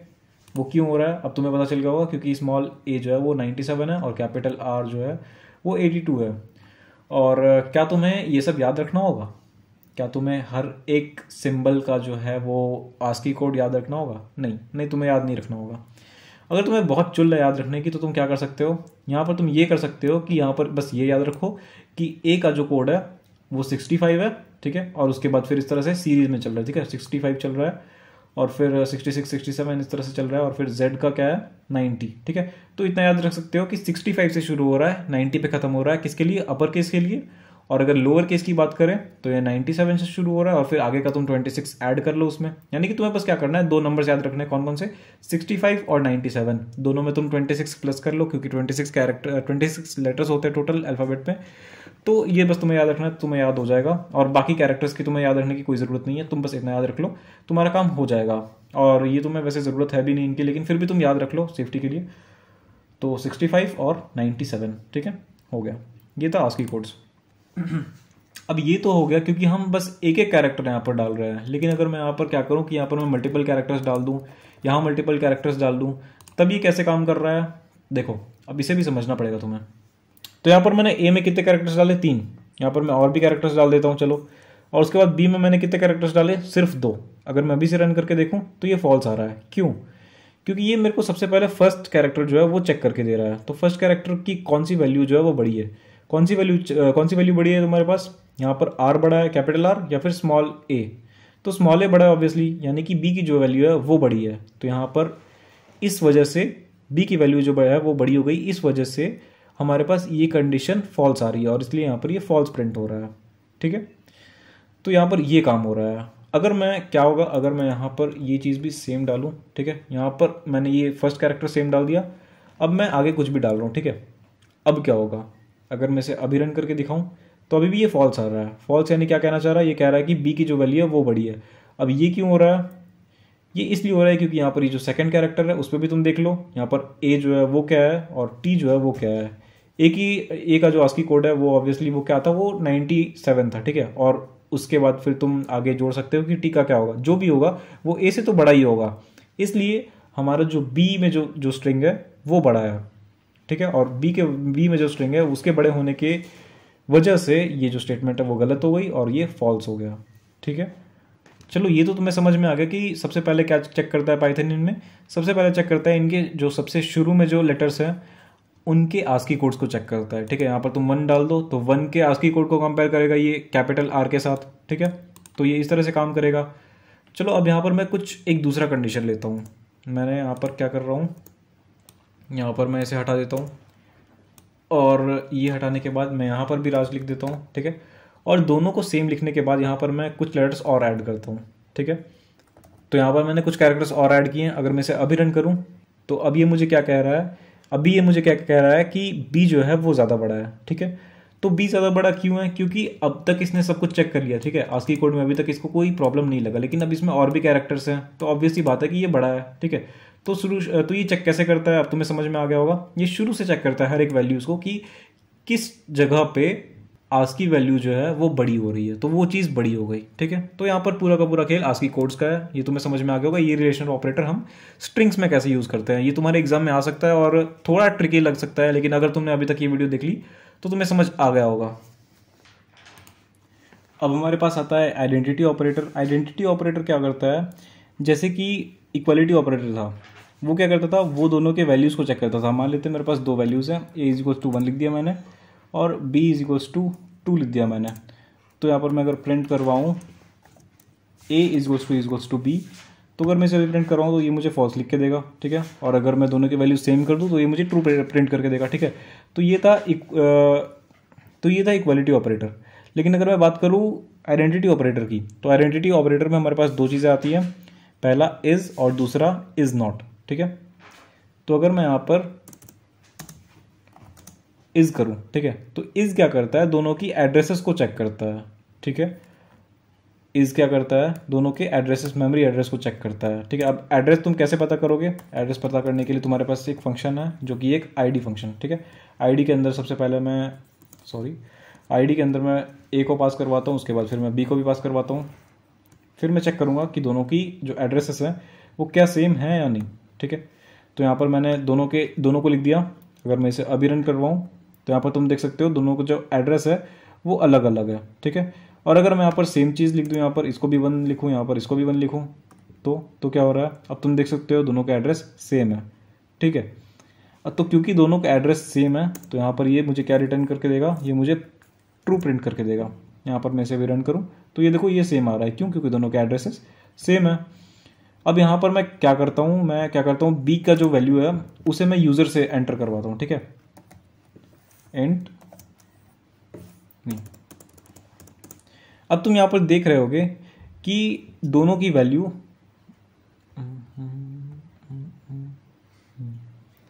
हाँ। तो अब तुम देख रहे होगे कि यहाँ पर ये दोनों के एड्रेसेस को चेक करता है, लेकिन अब तुम सोच रहे होगे कि इज़ और इज़ नॉट में और ये इक्वल टू में अंतर कहाँ है? ठीक है? दोनों सेम काम ही तो कर रहा है। ये इज़ का काम कर रहा है और ये। ये जो है, ये इज़ नॉट का काम कर रहा है। तो दोनों में अंतर क्या है? तो अंतर क्या है इसमें? ये कब अलग काम करता है? ये ये मैं भी तुम्हें दिखाता हूँ। चलो हम यहाँ पर क्या कर, करते हैं कि एक चेंज करते हैं यहाँ पर। यहाँ पर मैं इसको रहने देता हूँ। और इक्वल टू का तो तुम्हें पता है कि जब इक्वल टू कब आना है, जब दोनों इक्वल रहेंगी तो इसमें कोई डाउट नहीं है, ठीक है? तो मैं यहाँ पर एक चेंज करता हूँ। मैं यहाँ पर इसको हटाता हूँ। यहाँ पर मैं लिखता हूँ इंट इंट इनपुट एंटर कुछ भी ठीक है? एंटर करो। चलो ठीक है? तो यहाँ पर मैं एक इंटीजर टाइप को एंटर करवा रहा हूँ ठीक है? और वन भी हमारा इंटीजर है। अब मैं यहाँ पर रन करता हूँ। चलो रन कर रहे हैं। यहाँ पर मैं लिखता हूँ फाइव ठीक है? तो इसमें क्या हो रहा है? दोनों के एड्रेस अलग अलग है इसलिए फॉल्स रिटर्न कर रहा है। चलो एक, एक काम करता हूँ मैं इस बार भी वन लिखता हूँ इसमें। यहाँ मैंने वन लिख दिया। अब क्या हो रहा है? अब भी एड्रेस सेम है तो अब भी ये ट्रू आ रहा है। देखो, अब ये हर बार नहीं होगा, ये हर केस में नहीं होगा। यहाँ पर एक चीज़ अलग होने वाला है। कब अलग होने वाला है? जब मैं इसे काम करता हूँ, मैं इसे इंटीजर को हटा के अगर मैं स्ट्रिंग कर दूँ या फिर कॉम्प्लेक्स नंबर कर दूँ, ठीक है? या फिर फ्लोट पॉइंट कर दूँ तो इन केसेस में क्या होगा? तो इसमें मैं क्या कर रहा हूँ? मैं मान लेता हूँ, मैंने यहाँ पर एक स्ट्रिंग लिख दिया। मान लेते हैं मैंने ए बी सी डी कर दिया, ठीक है? और अगर मैं यूज़र से अभी इनपुट ले रहा हूँ, यहाँ पर यूज़र ने भी ए बी सी डी ये लिख दिया। अब मैं इसे एंटर करूँ तो तुम यहाँ पर देख रहे होगे कि यहाँ पर एक एरर आ रहा है। ये एरर क्या कहना चाह रहा है? यहाँ पर मुझे स्ट्रिंग में इनपुट लेना है तो ऑब्वियसली ये स्ट्रिंग डेटा टाइप का होगा। और ये बाय डिफ़ॉल्ट इनपुट का जो होता है, वो स्ट्रिंग ही होता है, ठीक है? तो मुझे स्ट्रिंग अलग से लिखने की ज़रूरत नहीं है। मैं इसे अभी रन करके दिखाता हूँ तुम्हें। तो अब मैं यहाँ पर लिखता हूँ ए बी सी डी ठीक है? तो इसको पहले ठीक करते हैं। फिर से ठीक करते हैं। हाँ आ गया। ए बी सी डी अब मैं इसे अभी एंटर एंटर करूँ तो यहाँ पर तुम देख सकते हो दोनों का एड्रेस बदल गया है, ठीक है? और अगर स्ट्रिंग के जगह अगर मैं क्या क्या यूज़ करूँ और मैं अगर यहाँ पर कॉम्प्लेक्स नंबर भी यूज़ करूँ या फिर एक फ्लोटिंग नंबर भी यूज़ करूँ तो भी ऐसा ही होगा। यानी कि क्या? जब भी हम किसी चीज़ को इनपुट करेंगे तो उसका एड्रेस अलग ही बन जाएगा। लेकिन अगर हम तुम देख रहे हो कि मैंने जो पिछला एग्ज़ाम्पल यूज़ किया था, ठीक है? क्या था पिछला एग्ज़ाम्पल इंटीजर का था। तो इंटीजर में मैंने टू लिख दिया यहाँ पर और यहाँ पर फिर से इसे इंटीजर कर देते हैं, ठीक है? इंट चलो, ये भी इंटीजर बन गया। अब क्या कर रहे हैं हम? यहाँ पर मैंने, चलो, यहाँ पर भी मैंने टू कर दिया। तो यहाँ पर तुम देख रहे हो कि दोनों का एड्रेस सेम हो रहा है। यहाँ पर ये बदल नहीं रहा है, ठीक है? तो ऐसा क्यों हो रहा है? तो ये सिर्फ़ इंटीजर के केस में हो रहा है, ठीक है? और बाकी के केस में नहीं हो रहा है। लेकिन अगर मैं यहाँ पर बहुत ज़्यादा लंबा इंटीजर दे दूँ, जैसे कि, यहाँ पर मैं लिख देता हूँ, चलो, मैंने बहुत लंबा इंटीजर दे दिया। और इसी चीज़ को कॉपी करके कॉपी कर लिया मैंने, ठीक है? अब मैं इसे पेस्ट करूँगा। तो यहाँ पर मैं इसे रन कर रहा हूँ। मैं इस चीज़ को यहाँ पर पेस्ट कर रहा हूँ। ओ, ये पेस्ट हो नहीं रहा है। तो पेस्ट करने के लिए मैं एक मिनट मैं एक जुगाड़ लगाता हूँ। तो यहाँ पर मैं तो यहाँ पर मैंने इसे पेस्ट कर लिया। तो अगर मैं इसे अभी रन करूँ तो यहाँ पर तुम देख रहे हो कि ये मुझे फॉल्स कह रहा है। यानी कि अब इनके मेमोरी एड्रेस जो है वो चेंज हो चुके हैं, ठीक है? तो मेमोरी एड्रेस चेंज हो रहे हैं। किस जगह पे चेंज हो रहे हैं? जब भी हम इनपुट ले रहे हैं यूज़र से, उस टाइम पे चेंज हो रहा है, ठीक है? और यूज़र से इनपुट लेने पे भी किस कंडीशंस में चेंज हो रहा है? वो तुम्हारे पास तीन कंडीशंस हैं। तुम्हारे जो ऑपरेंट्स हैं, यानी कि ए और बी की जो वैल्यूज़ हैं मतलब जिन वेरिएबल्स से तुम कंपेयर कर रहे हो तो या तो वो स्ट्रिंग्स होने चाहिए, या तो फ्लोट्स होने चाहिए, या फिर कॉम्प्लेक्स होने चाहिए कॉम्प्लेक्स नंबर्स या फिर क्या होना चाहिए कि वो इंटीजर में अगर हैं तो वो बहुत बड़े इंटीजर्स हों, ठीक है, जैसा कि अभी तुमने देखा। तो उस केस में क्या होगा कि इनपुट की जो एड्रेस होगी, वो चेंज हो जाएगी, अलग हो जाएगी, ठीक है? और, अब मैं एक काम करता हूँ, मैं तुम्हें एक और चीज़ दिखा देता हूँ यहाँ पर। यहाँ पर मैं तुम्हें ये भी दिखा देता हूँ कि अगर मैं यहाँ पर यूज़र से इनपुट नहीं लेता, ठीक है, यहाँ पर मैं यूज़र से इनपुट नहीं ले रहा हूँ, और इस वक्त अगर मैं इसे यहाँ पर से, मैं इसे कॉपी करके यहाँ पेस्ट कर दूँ तो अब क्या हो रहा है? तो अब ये ट्रू कह रहा है, ठीक है? यानी कि अब यहाँ पर ये कह रहा है कि दोनों सेम है, ठीक है? यहाँ पर मैंने इनपुट नहीं लिया है इसलिए, ठीक है? तो तुम्हें क्या करना है कि तुम ये समझो कि इज़ क्या कर रहा है? ये भले ही इज़ जो है वो सिमिलर है इक्वल टू इक्वल टू यानी इक्वालिटी ऑपरेटर के, लेकिन इज़ क्या चेक कर रहा है? एड्रेसेस चेक कर रहा है। और एड्रेसेस यहाँ पर अलग कब हो रहे हैं? एड्रेसेस यहाँ पर तब अलग हो रहे हैं जब भी सेम वैल्यूज़ है, ठीक है? तो सेम वैल्यू होने पर भी एड्रेस कब अलग हो रहा है एड्रेस कब चेंज हो रहा है एड्रेस तब चेंज हो रहा है जब हम इनपुट इनपुट फ़ंक्शन का यूज़ कर रहे हैं, यानी एक जगह पे किसी एक वेरिएबल के लिए यूज़र से इनपुट ले रहे हैं। और उसमें भी क्या कंडीशन है? उसमें भी ये कंडीशन है कि या तो यूज़र ने जो इनपुट दिया तो वो नंबर जो, या तो अगर वो नंबर है तो वो इंटीजर नहीं होना चाहिए। अगर इंटीजर हो तो बहुत बड़ा इंटीजर होना चाहिए, जैसा कि तुम अभी स्क्रीन पे देख रहे हो, या फिर वो स्ट्रिंग होना चाहिए या फिर वो फ्लोट या फिर कॉम्प्लेक्स नंबर होना चाहिए। इन चीज़ों पे क्या होगा? इन चीज़ों पे हमारा जो एड्रेस होगा वो अलग हो जाएगा। ठीक है? एक बार फिर से बोल रहा हूँ, सुनो, इस पर ध्यान से सुनो। तो चेंज कब होगा एड्रेस सेम वैल्यू होने पर भी एड्रेस मतलब इक्वल वैल्यू होने पर भी एड्रेस चेंज कब होगा? एड्रेस अलग तब होगा जब हम एक के लिए, किसी एक के लिए यूज़र से इनपुट ले रहे हो। ठीक है? और यूज़र से इनपुट लेने पर भी वो जो टाइप होगा उसका, वो इंटीजर नहीं होना चाहिए। अगर इंटीजर हो तो काफ़ी बड़ा इंटीजर हो, जैसा कि तुम्हें स्क्रीन पर दिख रहा है। वरना उससे या तो वो स्ट्रिंग हो, या तो वो कॉम्प्लेक्स नंबर या फिर फ्लोटिंग नंबर हो। ठीक है? तो ये था कहानी। किसके लिए? इज़ ऑपरेटर के लिए। और अब तुम्हें यहाँ पर यह भी ध्यान में आ रहा होगा कि क्या हमें किसी एक के लिए सिर्फ़ इनपुट लेना है मतलब हमारे पास दो अगर वैल्यूज़ है तो क्या हम उसे, उसमें सिर्फ़ एक के लिए ही वैल्यू यूज़र यूज़र से इनपुट करवाएँ? तब क्या ये चीज़ होगा? तो चलो इसे ट्राई करते हैं, ठीक है? हम ट्राई करते हैं इस बार कि दोनों वैल्यूज़ हम यूज़र से लें। तो यहाँ पर क्या हो रहा है? यहाँ पर ये कह रहा है कि दोनों जो है वो इक्वल है, ठीक है? मतलब दोनों इक्वल है।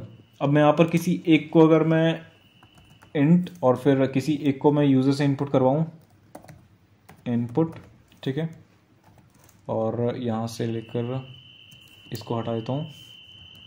यहाँ पर एंटर ठीक है? एंटर कुछ भी एंटर करो, चलो, ठीक है? ठीक है? तो यहाँ पर मैं यूज़र से इनपुट करवा रहा हूँ। पहले, पहली चीज़ यूज़र पहली चीज़ यूज़र से इनपुट करवा रहा हूँ। चलो एंटर करवाया मैंने, ठीक है? दोनों की वैल्यू अलग हो गई, ठीक है? अब मैं क्या कर रहा हूँ कि मैं इस चीज़ को भी यूज़र से इनपुट करवाऊँगा, ठीक है? तो यहाँ पर मैं इस चीज़ को कॉपी कर लेता हूँ। ये मैंने कॉपी कर लिया। और एक काम करता हूँ, मैं इसको कमेंट आउट कर देता हूँ और नीचे क्या कर रहा हूँ मैं? ए इक्वल्स टू ये, ठीक है? मैंने ये कर लिया। तो अब मैं दोनों में एक ही नंबर डालने वाला हूँ। ये बड़ा सा इंटीजर या फिर अब देखो, ये जो बड़ा सा इंटीजर है, ये भी वही काम करने वाला है, जो कि कोई स्ट्रिंग करेगा या फिर जो कोई कॉम्प्लेक्स नंबर करेगा या फिर कोई इंटीजर करेगा। सॉरी इंटीजर नहीं कोई फ्लोटिंग पॉइंट करेगा। तो मैंने इसे कॉपी कर लिया, अब मैं इसे इनपुट में डालने वाला हूँ। अगर मैं इसे रन कराऊँ तो यहाँ पर मैं यहाँ पर सॉरी इसे सही करते हैं। सही करते हैं हाँ सही कर दिया। ये मैंने पहले वाले के लिए डाल दिया, दूसरे वाले के लिए भी ये डाल दिया। अब क्या हो रहा है? अब फॉल्स आ रहा है। ठीक है? यानी कि जब भी हम इनपुट करवाते हैं यूज़र से तो वो एक अलग वैल्यू ले लेता है। ठीक है? एक अलग जगह पे उसे स्टोर करता है। उसकी एक मेमोरी एड्रेस अलग हो जाती है। लेकिन अगर वो इंटीजर हो और छोटा इंटीजर हो, तब वो ऐसा नहीं होता। लेकिन अगर बड़ा इंटीजर हो या फिर स्ट्रिंग हो या कॉम्प्लेक्स नंबर हो या फ्लोटिंग पॉइंट हो, तब अलग हो जाता है। तो ये काफ़ी डिटेल में मैंने तुम्हें समझा दिया कि इज़ ऑपरेटर और इज़ नॉट ऑपरेटर जो कि आइडेंटिटी ऑपरेटर्स है, वो उनका काम कैसे होता है। तो अब हमारे पास आता है लॉजिकल ऑपरेटर्स लॉजिकल ऑपरेटर्स में क्या होता है कि हमें अगर तुमने पढ़ा होगा बुलियन लॉजिक अगर तुमने पढ़ा होगा या फिर डेटा रिप्रेजेंटेशन इन दोनों को मिला के अगर तुमने मुझसे पढ़ा होगा तो तुम्हें पता होगा कि एंड का क्या काम होता है और का क्या होता है नॉट का क्या होता है, अगर या फिर किसी और से भी पढ़ा होगा तो पता ही होगा तुम्हें। तो यहाँ पर यही होता है मतलब लॉजिकल में यही चीज़ें आती हैं। अगर मैं यहाँ पर तुम्हें प्रिंट करके दिखाऊँ, ठीक है? तो अगर मैं यहाँ पर सिंपली अगर तुम्हें ये लिखूँ, ठीक है? ट्रू और फॉल्स, एकदम बेसिक सा लिख रहा हूँ, ठीक है? तो ये हमेशा क्या करेगा कि ये उस कंडीशन को चुनेगा जो चीज़ ट्रू हो, ठीक है? तो यहाँ पर अगर मैं रन करूँ इसे तो ये ट्रू प्रिंट करके दे रहा है मुझे, ठीक है? तो ये क्या कर रहा है चलो एक काम करता हूँ मैं। यहाँ पर मैं ज़ीरो कर देता हूँ, ठीक है? ज़ीरो और कोई भी एक वैल्यू डाल देता हूँ। अगर मैं इसे अभी रन करूँ, ठीक है? तो ये मुझे ये ये जो वैल्यू है वो प्रिंट करके दे रहा है। ठीक है? ऐसा क्यों हो रहा है? क्योंकि पाइथन जो है वो क्या करता है? वो हमेशा एम्प्टी वैल्यू को और ज़ीरो को फॉल्स मानता है और भले तुम उसमें कोई भी वैल्यू दे दो, उसे अगर बुलियन में समझना है तो वो उसे ट्रू मान लेगा। समझ गया कौन कौन सी वैल्यू एम्प्टी वैल्यू को और ज़ीरो को। वो फॉल्स मानता है, बाकी उसे तुम कुछ भी वैल्यू दे दो, उसे वो ट्रू मान लेगा। तो इसका यूज़ बहुत ज़्यादा होता है। कहाँ? इफ़ एल्स वाले कंडीशंस में इफ़ एल्स कंडीशन में तुम अगर, जब भी यूज़ करो तो वो उसका एक अलग ही चैप्टर है, उसमें मैं तुम्हें अच्छे से बताने वाला हूँ। तो उसमें बहुत काम आएगा, ये और वाली जो चीज़ है वो। तो और क्या करती है? अगर तुम्हारे पास, जैसे कि मैंने तुम्हें ट्रुथ टेबल वाले चैप्टर में ये भी बताया था कि अगर तुम्हारे पास दो वैल्यूज़ है, उसमें आता है और गेट जो आता है, ठीक है? तो अगर एक में ज़ीरो जा रहा है, एक में वन जा रहा है तो उसमें ज़ीरो जाएगा। अगर तो ये तुम्हें याद हो तो तुम्हें पता होगा, ठीक है? तो और क्या करती है कि अगर दोनों में से कोई एक वैल्यू ट्रू हो तो उसे वो ट्रू समझती है। अगर दोनों ट्रू हो तो उसे भी वो ट्रू समझती है, ठीक है? और अगर दोनों वैल्यू दोनों वैल्यू ज़ीरो हो तो उसे वो फॉल्स समझती है। सिमिलरली अगर हम बात करें एंड की तो एंड में क्या होता है? एंड को दोनों वैल्यूज़ ट्रू चाहिए, तभी वो उसे ट्रू समझेगा, पूरे को, वो ट्रू समझेगा एंड ठीक है? और अगर एंड में एक वैल्यू भी फॉल्स हो गया तो उसे वो फॉल्स समझेगा। अब हमारे पास आता है नॉट ऑपरेटर तो नॉट ऑपरेटर क्या करता है? अगर तुम नॉट को ट्रू के पहले लगा दो तो वो फॉल्स बन जाता है। अगर फॉल्स के पहले लगा दो तो वो ट्रू बन जाता है। यहाँ मैं तुम्हें दिखा देता हूँ। नॉट और यहाँ पर मैं ट्रू लिख देता हूँ। या फिर ट्रू की जगह मैं यहाँ पर कोई कंडीशन भी डाल सकता हूँ। टू इज़ सॉरी यहाँ मैं डाल देता हूँ। Two is smaller than three तो two is smaller than three क्या है ये? ये कौन सा ये सही है या गलत है? इसे मैं ब्रैकेट के अंदर पहले एनक्लोज कर देता हूँ, ताकि तुम्हें प्रेसिडेंट समझने में कोई, अभी फ़िलहाल कोई प्रॉब्लम ना हो, ठीक है? तो नॉट और उसके बाद फिर ये है। इसे हटाता हूँ मैं। हाँ अभी ये सही हो गया। तो ये अंदर की जो कंडीशन है, वो सही है, ठीक है? तो ये ट्रू है, और ट्रू के बाद ये क्या कर रहा है? नॉट वो उसे फॉल्स बना दे रहा है। तो ये मुझे टोटली क्या प्रिंट करके देगा? ये मुझे फॉल्स प्रिंट करके दे रहा है, ठीक है? सही है? तो ये काम है नॉट का। तो ऑपरेटर्स में अभी प्रेसिडेंस भी जानना है। तो बचपन में, इसे मैं हटा दूँ। तो बचपन में जब तुम मैथ्स पढ़ रहे होगे तो क्लास सिक्स में तुमने एक चैप्टर पढ़ा होगा इंटीजर्स नाम का। तो उसमें क्या था? उसमें क्या था कि उसमें तुमने बॉडमास का शायद एक रूल पढ़ा होगा। तो पढ़ा ही होगा ये। तो उसमें क्या होता है कि हमारे पास यहाँ पर ये दो ऑपरेटर्स आ गए हैं। तो हमारे पास कोई भी एक एक्सप्रेशन ऐसे करके दिया होता है और उसे सिंप्लीफाई करने के हमें लिखना होता है, ठीक है? तो उसका एक रूल होता है, पहले हम डिवीज़न करते हैं, फिर मल्टीप्लिकेशन करते हैं, ठीक है? फिर एडिशन फिर सब्ट्रैक्शन ये एक रूल होता है, ठीक है? तो उस तरह से यहाँ पर हमारे पास सिर्फ़ नंबर्स ही नहीं होते हैं। यहाँ पर बहुत सारी चीज़ें होती हैं। तो यहाँ पर इसका भी एक रूल है। तो अलग अलग ऑपरेटर्स होते हैं। तो पाइथन में जो है, वो हम अलग तरीके से सॉल्व करते हैं चीज़ें। पाइथन में हम उस चीज़ को प्रेसिडेंस बोलते हैं। हर एक ऑपरेटर का मतलब कोई एक प्रेसिडेंस होता है। मतलब प्रायोरिटी वाइज ऑपरेटर जो है वो सेट की होती है। अगर मैं तुम्हें यहाँ पर गूगल में दिखाऊँ। चलो दिखाते तुम्हें। तो तुम्हें गूगल पे सिर्फ़ इतना टाइप करना है operator precedence and associativity in Python तो तुम्हारे पास बहुत सारे वेबसाइट्स आएँगे। तुम्हें किसी एक में चले जाना है ठीक है? तो यहाँ पर मेरे पास देखो ये चीज़ें आ चुकी हैं। तो ऑपरेटर्स का मैंने जैसे कि तुम्हें बताया कि एक ऑर्डर होता है ठीक है सॉल्व करने का। तुम्हारे पास आ, कोई एक एक्सप्रेशन अगर होगा पाइथन में तो उसे सॉल्व करने का एक तरीका होता है, वो तुम्हें पुराना तरीका नहीं यूज़ करना है बॉडमास का, तुम्हें ये तरीका यूज़ करना है, ठीक है? तो ये किस तरह से है? तो सबसे पहले देख लो पैरेंथेसिस अब देखो पैरेंथेसिस कोई भी चीज़ पैरेंथेसिस में हो तो उसका जो प्रायोरिटी है सॉल्व करने का, वो काफ़ी ज़्यादा बढ़ जाता है, ठीक है? तो अगर तुम चाहते हो कि कोई एक एक्सप्रेशन है, वो उसमें कुछ एक चीज़ को बहुत ज़्यादा प्रायोरिटी देना चाहते हो और तुम्हें ये प्रेसिडेंस नहीं मालूम है तो तुम उस चीज़ को पैरेंथेसिस में डाल दो। जैसे कि अगर तुम्हें one plus two plus three करना है, चलो इसको हटा दो। वन प्लस टू और डिवाइडेड बाय थ्री, ठीक है? तुम्हें अगर ये सॉल्व करना है, और जैसे कि यहाँ पर मैं लिख देता हूँ, यहाँ पर मैंने इसे हटा दिया। One sorry one plus two by three. तो तुम यहाँ पर क्या चाहते हो? अगर तुम चाहते हो कि वन प्लस टू पहले सॉल्व हो और उसके बाद जो रिज़ल्ट आए, वो डिवाइड हो थ्री से तो उसके लिए तुम क्या कर सकते हो? वन प्लस टू को यहाँ ब्रैकेट पे डाल सकते हो। अब जो है वो वन प्लस टू पहले इवेलुएट होगा और उसके बाद फिर वो डिवाइड होगा थ्री से। ये तुम्हें बेसिकली पता ही होगा, ठीक है? तो पैरेंथिस में किसी भी चीज़ को डालने से उसकी जो प्रेसिडेंस है, उसका जो प्रेसिडेंस है वो बहुत ज़्यादा बढ़ जाता है, सबसे ऊपर हो जाता है, ठीक है? यानी कि पाइथन जब उसको चीज़ को सॉल्व कर रहा होगा, यानी कि अगर मैंने ए में इस चीज़ को डाल दिया, ठीक है? ए में इस चीज़ को डाल दिया तो पाइथन क्या करेगा? इस चीज़ को पहले इवेल्युएट करेगा और उसके बाद इस चीज़ को ए में डालेगा। तो इस चीज़ को जब इवेल्युएट करने जाएगा पाइथन हमारा जो पाइथन है, वो जब इस चीज़ को इवेलुएट करेगा तो सबसे पहले उसकी नज़र इस पे जाएगी। वो सबसे पहले ब्रैकेट वाली चीज़ को सॉल्व करता है, ठीक है? तो ये काम है पैरेंथेसिस का, ठीक है? आगे बढ़ते हैं। अब आता है स्लाइसिंग का, ठीक है? तो स्लाइसिंग किसमें था? स्ट्रिंग्स में, ठीक है? अभी अगर तुम्हें समझ नहीं आ रहा, कोई बात नहीं।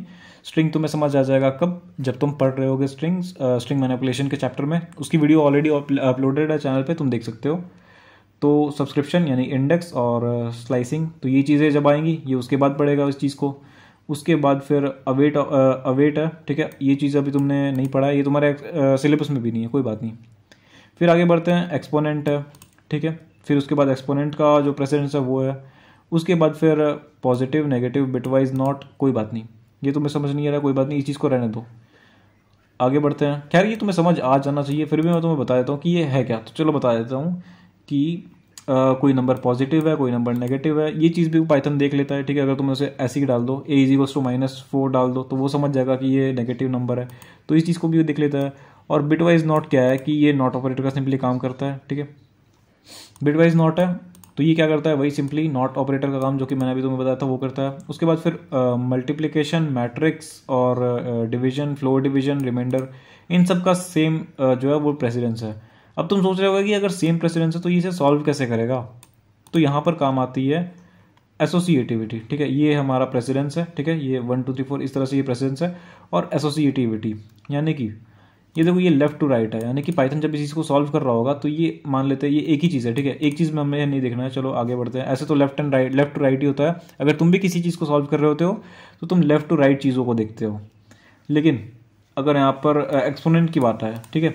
तो वो राइट टू लेफ़्ट होता है। राइट टू लेफ़्ट मतलब कैसे? मान लो मैंने तुम्हें, तुमने ये लिखा टू और फिर यहाँ पर एक्सपोनेंशियल ऑपरेटर दे दिया और ये three two into two into three two हो गया यहाँ पर, यानी कि टू टू सा फोर फोर टू सा एट तो यहाँ पर इसकी वैल्यू एट आ रही है। तो ये इसको कैसे देख रहा है? क्या वो ये ऐसे देख रहा है? टू की पावर थ्री या फिर वो ऐसे देख रहा है? ठीक है, वो तो ये इस तरह से देख रहा है। थ्री जो है वो किसकी पावर में? टू यानी कि अगर मैं यहाँ पर ये लगा दूँ ठीक है? इसकी पावर में अगर फोर कर दूँ, ठीक है? चलो, यहाँ पर थोड़ा कम करते हैं इसे। टू कर देते हैं।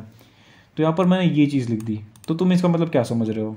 क्या तुम इसका मतलब ये समझ रहे हो कि चलो, पहले प्रिंट भी करा देता हूँ मैं इसे, ताकि कन्फ्यूज़न पूरी तरह से क्लियर हो जाए। प्रिंट ए ठीक है? तो तुम इसका मतलब क्या समझ रहे हो? तो इसका मतलब क्या तुम ये समझ रहे हो कि टू जो है वो पहले टू का क्यूब होगा, यानी कि टू का क्यूब क्या होता है? एट और फिर एट का जो है वो स्क्वायर हो जाएगा, यानी सिक्सटी फोर अगर मैं इसे अभी रन करके देखूँ तो ये पाँच सौ बारह आ रहा है। ये सिक्सटी फोर नहीं आ रहा है। ऐसा क्यों? क्योंकि लेफ़्ट टू राइट तो हम सॉल्व कर रहे हैं ना। लेकिन यहाँ पर तुम देख सकते हो यहाँ पर एसोसिएटिविटी क्या है इसकी? यहाँ पर एक्सपोनेंट कहाँ गया एक्सपोनेंट हाँ ये रहा एक्सपोनेंटिएशन तो एक्सपोनेंशिएशन की जो एसोसिएटिविटी है, इसको सॉल्व करने का तरीका राइट टू लेफ़्ट है। यानी कि हाँ। तो यहाँ पर मैं अगर लेफ़्ट टू राइट सॉल्व कर रहा हूँ, तब मेरे पास आ रहा है सिक्सटी फाइव सॉरी तब मेरे पास क्या आ रहा है? सिक्सटी फोर कैसे? टू का जो क्यूब हो रहा है पहले, टू का क्यूब क्या होता है? टू का क्यूब होता है, टू का क्यूब होता है एट। और फिर एट का जो है वो स्क्वायर कर रहा हूँ मैं। एट का स्क्वायर यानी सिक्सटी फोर, ठीक है? तो इस तरह से सिक्सटी फोर आ रहा है मेरे पे। लेकिन अगर मैं, ये तब आ रहा है जब मैं इसे लेफ़्ट टू राइट सॉल्व कर रहा हूँ। लेकिन इसकी एसोसिएटिविटी क्या है यहाँ पर? यहाँ पर तुम देख सकते हो, एक्सपोनेंशिएशन की जो एसोसिएटिविटी है, वो है राइट टू लेफ़्ट यानी इसे मुझे लेफ़्ट टू राइट नहीं सॉल्व करना, मुझे इसे राइट टू लेफ़्ट सॉल्व करना है। ये तुम्हें हमेशा याद रखना है, ठीक है? ये क्वेश्चन आ सकता है। तो राइट टू लेफ़्ट करना है तो क्या ये ये लिखा हुआ है कि टू की पावर थ्री है, और फिर थ्री की पावर टू क्या ये ऐसा लिखा हुआ है? नहीं, ये ऐसा भी नहीं है। ये सिंपल है मतलब ये इस तरह से, ठीक है? तो राइट टू लेफ़्ट अगर तुम देखो तो पहले मुझे इस चीज़ को सॉल्व करना होगा, ठीक है? और उसके बाद जो चीज़ है, वो इस तरह से इसे सॉल्व करना होगा। यहाँ पर ये तुम्हें ध्यान रखना है। ये बहुत से लोग यहाँ पर गलत कर सकते हैं। तो यहाँ पर अगर मैं इस चीज़ को सॉल्व करने जाऊँ तो क्या होगा? थ्री की पावर टू यानी कि थ्री का स्क्वायर यानी कि ये नाइन हो जाएगा। और फिर नाइन यानी कि टू की पावर नाइन हो जाएगा ये, ठीक है? ये इस तरह से सॉल्व होगा, ठीक है? यहाँ पर तुम्हें ये नहीं करना है कि टू की पावर तुम थ्री कर दो, फिर एट आ गया एट के बाद फिर एट का स्क्वायर कर दो तो वो सिक्सटी फोर आ गया। ये नहीं करना है तुम्हें। ये तुम्हें इस साइड से सॉल्व करना है, और इस साइड से भी तुम्हें अगर सॉल्व करना है तो ऐसा नहीं करना है तुम्हें कि टू की पावर तुम थ्री कर दो और उसके बाद फिर जो चीज़ है, वो भी फिर उसकी स्क्वायर उसका स्क्वायर कर दो। ये तो सेम चीज़ हो जाएगा, क्योंकि मैंने यहाँ पर, तुम देख सकते हो, जानबूझ के मैंने यहाँ पर पैलेंड्रॉम नंबर लिखा हुआ है, ठीक है? तो यहाँ पर तुम्हें कैसे सॉल्व करना है? सबसे पहले तुम्हें इस चीज़ को सॉल्व करना है, ठीक है? यानी कि थ्री का पावर टू तो ये नाइन हो जाएगा, और उसके बाद फिर इस चीज़ को सॉल्व करना है सॉरी इस चीज़ को सॉल्व करना है। यहाँ पर ये नाइन आ चुका था तो टू की पावर नाइन तो हमारे पास पाँच सौ बारह आ जाएगा। तो ये था यहाँ पर तो एसोसिएटिविटी का भी ये काम है। तो तुम देख सकते हो तो फिर मल्टीप्लिकेशन डिवीज़न इन सब का जो वेटेज है वो सेम है। यानी कि तुम्हारे पास अगर शुरू में जो चीज़ है, वो कर दो। तुम्हारे पास भले शुरू में मल्टीप्लिकेशन आ जाए डिवीज़न आ जाए फ्लो डिवीज़न आ जाए रिमाइंडर आ जाए, जो चीज़ शुरू में आ जाए वो कर दो, ठीक है? क्योंकि लेफ़्ट टू राइट है, जो करना है करो, ठीक है? उसके बाद फिर है एडिशन सब्ट्रैक्शन ठीक है? उसके बाद फिर बाकी की चीज़ें तुम्हें ध्यान नहीं रखनी है। ध्यान अगर तुम्हें रखना है तो ये चीज़ें ध्यान में रखनी है कि boolean not boolean and boolean और ठीक है ये चीज़ें तुम्हें ध्यान में रखनी है। अभी मैं तुम्हें कुछ एक्सप्रेशन भी सॉल्व करके दिखाऊँगा। फ़िलहाल तुम ये देख लो कि सबसे पहले पैरेंथिस होता है उसके बाद स्लाइसिंग और इंडेक्सिंग होती है ठीक है लेफ़्ट टू राइट सब कुछ लेफ़्ट टू राइट चलता है। कौन सी चीज़ यहाँ पर राइट टू लेफ़्ट चलती है? यहाँ पर तुम देख सकते हो। आ, बात करें राइट टू लेफ़्ट चलने की तो तुम एक्सपोनेंशिएशन का देख सकते हो और फिर पॉजिटिव नेगेटिव और बिट वाइज नॉट ठीक है? और भी क्या चीज़ है? यहाँ पर नॉट ठीक है? तो नॉट वाली जो चीज़ है वो राइट टू लेफ़्ट चलती है और इफ़ एल्स कंडीशन ठीक है? तो अभी तुम्हें क्या करना है कि ज़्यादा मत देखो। चलो, मैं तुम्हें बताया था तुम क्या क्या देख लो। ये देखो, ठीक है? देखो, शुरू से पैरेंथेसिस देख लो, ये देख लो, फिर एक्सपोनेंशियल समझ लिया तुमने, ठीक है? एक्सपोनेंशियल का वेटेज होता है, फिर बाद में ये पॉजिटिव नेगेटिव बिटवाइज नॉट ठीक है? उसके बाद फिर मल्टीप्लाई ये ये भी ठीक है, ये भी ठीक है नोट्स बना लो, चलो तुम। और फिर उसके बाद फिर एंड और जॉर नॉर ये सारा चीज़ भी है, ठीक है? ये भी देख सकते हो। तुम एक काम करो, इसका नोट बना लो और फिर तुम्हें जो जो चीज़ यहाँ पर समझ आ रही है डिस्क्रिप्शन में, तुम समझ जाओ कि उसका वेटेज जो है वो काफ़ी ऊपर है, ठीक है? तो वैसे उतना डिफ़िकल्ट तो नहीं आने वाला तुम्हारे पास। तुम्हारे पास क्या क्या आ सकता है क्या क्या यूज़ कर सकते हैं वो किसी एक्सप्रेशन में, वो भी मैं तुम्हें दिखा दूँगा। चलो आगे बढ़ते हैं, दिखाऊँगा। आगे बढ़ते हैं। इसके बाद हमारे पास यही टॉपिक है एक्सप्रेशन का। तो ये समझने के लिए ऑपरेटर का प्रेसिडेंस जानना बहुत ज़रूरी था। तो अब हम बात करते हैं कि एक्सप्रेशन क्या होता है। अब तुम कुछ नंबर्स का या फिर कुछ वैल्यूज़ का, चलो, कुछ वैल्यूज़ का एक कॉम्बिनेशन बना दो, जिसका कि एक वैल्यू निकल के आ रहा है, ठीक है, कोई एक मीनिंगफुल वैल्यू कोई एक मीनिंगफुल मतलब यानी कि कुछ हाँ कुछ मीनिंगफुल वैल्यू निकल के आ रहा है तो वो एक एक्सप्रेशन बन गया, ठीक है, मैं फिर से बोलता हूँ, कुछ वैल्यूज़ का इस तरह से कॉम्बिनेशन बनाओ कि मिलाकर उसका एक अलग वैल्यू आ रहा है, कोई एरर ना आ रहा हो तो उसे हम एक एक्सप्रेशन कह सकते हैं। तो हमारे बुक में से ही मुझे एक क्वेश्चन मिल रहा है, उसे मैं सॉल्व करके दिखाता हूँ तुम्हें। चलो यहाँ पर मैं पहले ए में कुछ चीज़ को स्टोर करता हूँ, एक एक्सप्रेशन में मैं उसको ही स्टोर करूँगा, ठीक है? तो क्या है यहाँ पर? ये फाइव ये मैं लिख लेता हूँ पहले। तो यहाँ पर मैंने ए में एक एक्सप्रेशन लिख दिया है, ठीक है? अगर मैं इसे प्रिंट करवा लूँ तो इसका आंसर क्या आना चाहिए? तो अब मैं तुम्हें बता दूँ कि इसे सॉल्व कैसे करते हैं। सॉल्व करने के लिए सबसे पहले एक काम करते हैं, अब मैं जो कुछ भी लिखूँगा तो अब मैं यहाँ पर जो कुछ भी लिखने वाला हूँ कमेंट में लिखने वाला हूँ। तो शुरू करते हैं। तो सबसे पहले सॉल्व करते हैं पैरेंथेसिस को। तो पैरेंथेसिस वाली चीज़ जो है, उनकी प्रायोरिटी जो है, वो सबसे ज़्यादा होती है। देखो यहाँ पर पैरेंथेसिस सबसे ज़्यादा, और वो भी लेफ़्ट टू राइट ठीक है? तो पैरेंथेसिस वाली चीज़ों को हम सॉल्व करेंगे। तो पहले इसको सॉल्व करेंगे, फिर इसको सॉल्व करेंगे, फिर इसको सॉल्व करेंगे। लेफ़्ट टू राइट यही मतलब है इसका। तो यहाँ पर मैं लिखूँगा पहली वाली कंडीशन क्या है? ट्रू है या फॉल्स है? ट्रू है। ट्रू लिख दिया मैंने। अब यहाँ पर एंड हो गया। अभी एंड होने के बाद ये दूसरी वाली कंडीशन क्या है? ट्रू है या फॉल्स है? फॉल्स है। फॉल्स लिख दिया मैंने। उसके बाद और है। फिर और के बाद अब ये तीसरी वाली कंडीशन क्या है? ये आ, हाँ ये ट्रू है। ठीक है? अब उसके बाद फिर मैंने एंड नॉट और उसके बाद फिर अब ये कंडीशन क्या है? ये कंडीशन क्या है? इसे चेक करने के लिए अब मेरे ये तो पैरेंथेसिस में है नहीं तो मैं यहाँ पर इसे जैसा का तैसा ही लिख दूँगा। ठीक है? एटीन ठीक है? अब इसके बाद फर्दर सॉल्व करेंगे हम इसे। अब इसे, इसके बाद कौन सी, कौन सा ऑपरेटर काम में आएगा? स्लाइसिंग तो है नहीं उसमें, ठीक है? और फिर एक्सपोनेंशिएशन है इसमें क्या? नहीं एक्सपोनेंशिएशन इसमें नहीं है। उसके बाद फिर उसके बाद फिर पॉजिटिव नेगेटिव वैल्यूज़ ऐसा भी इसमें कुछ है नहीं, ठीक है? नॉट कॉम्प्लीमेंट है, ठीक है? तो यहाँ पर तुम देख सकते हो नॉट जो है वो, अभी चलो यहाँ पर बिट वाइज नॉट तो रहने देते हैं, ये इस तरह से नॉट नहीं लिखा हुआ है, आगे बढ़ते हैं। फिर देखो, अभी तक क्या क्या किया हमने? पैरेंथेसिस किया, उसके बाद तो कुछ भी नहीं किया हमने। बैठे हैं।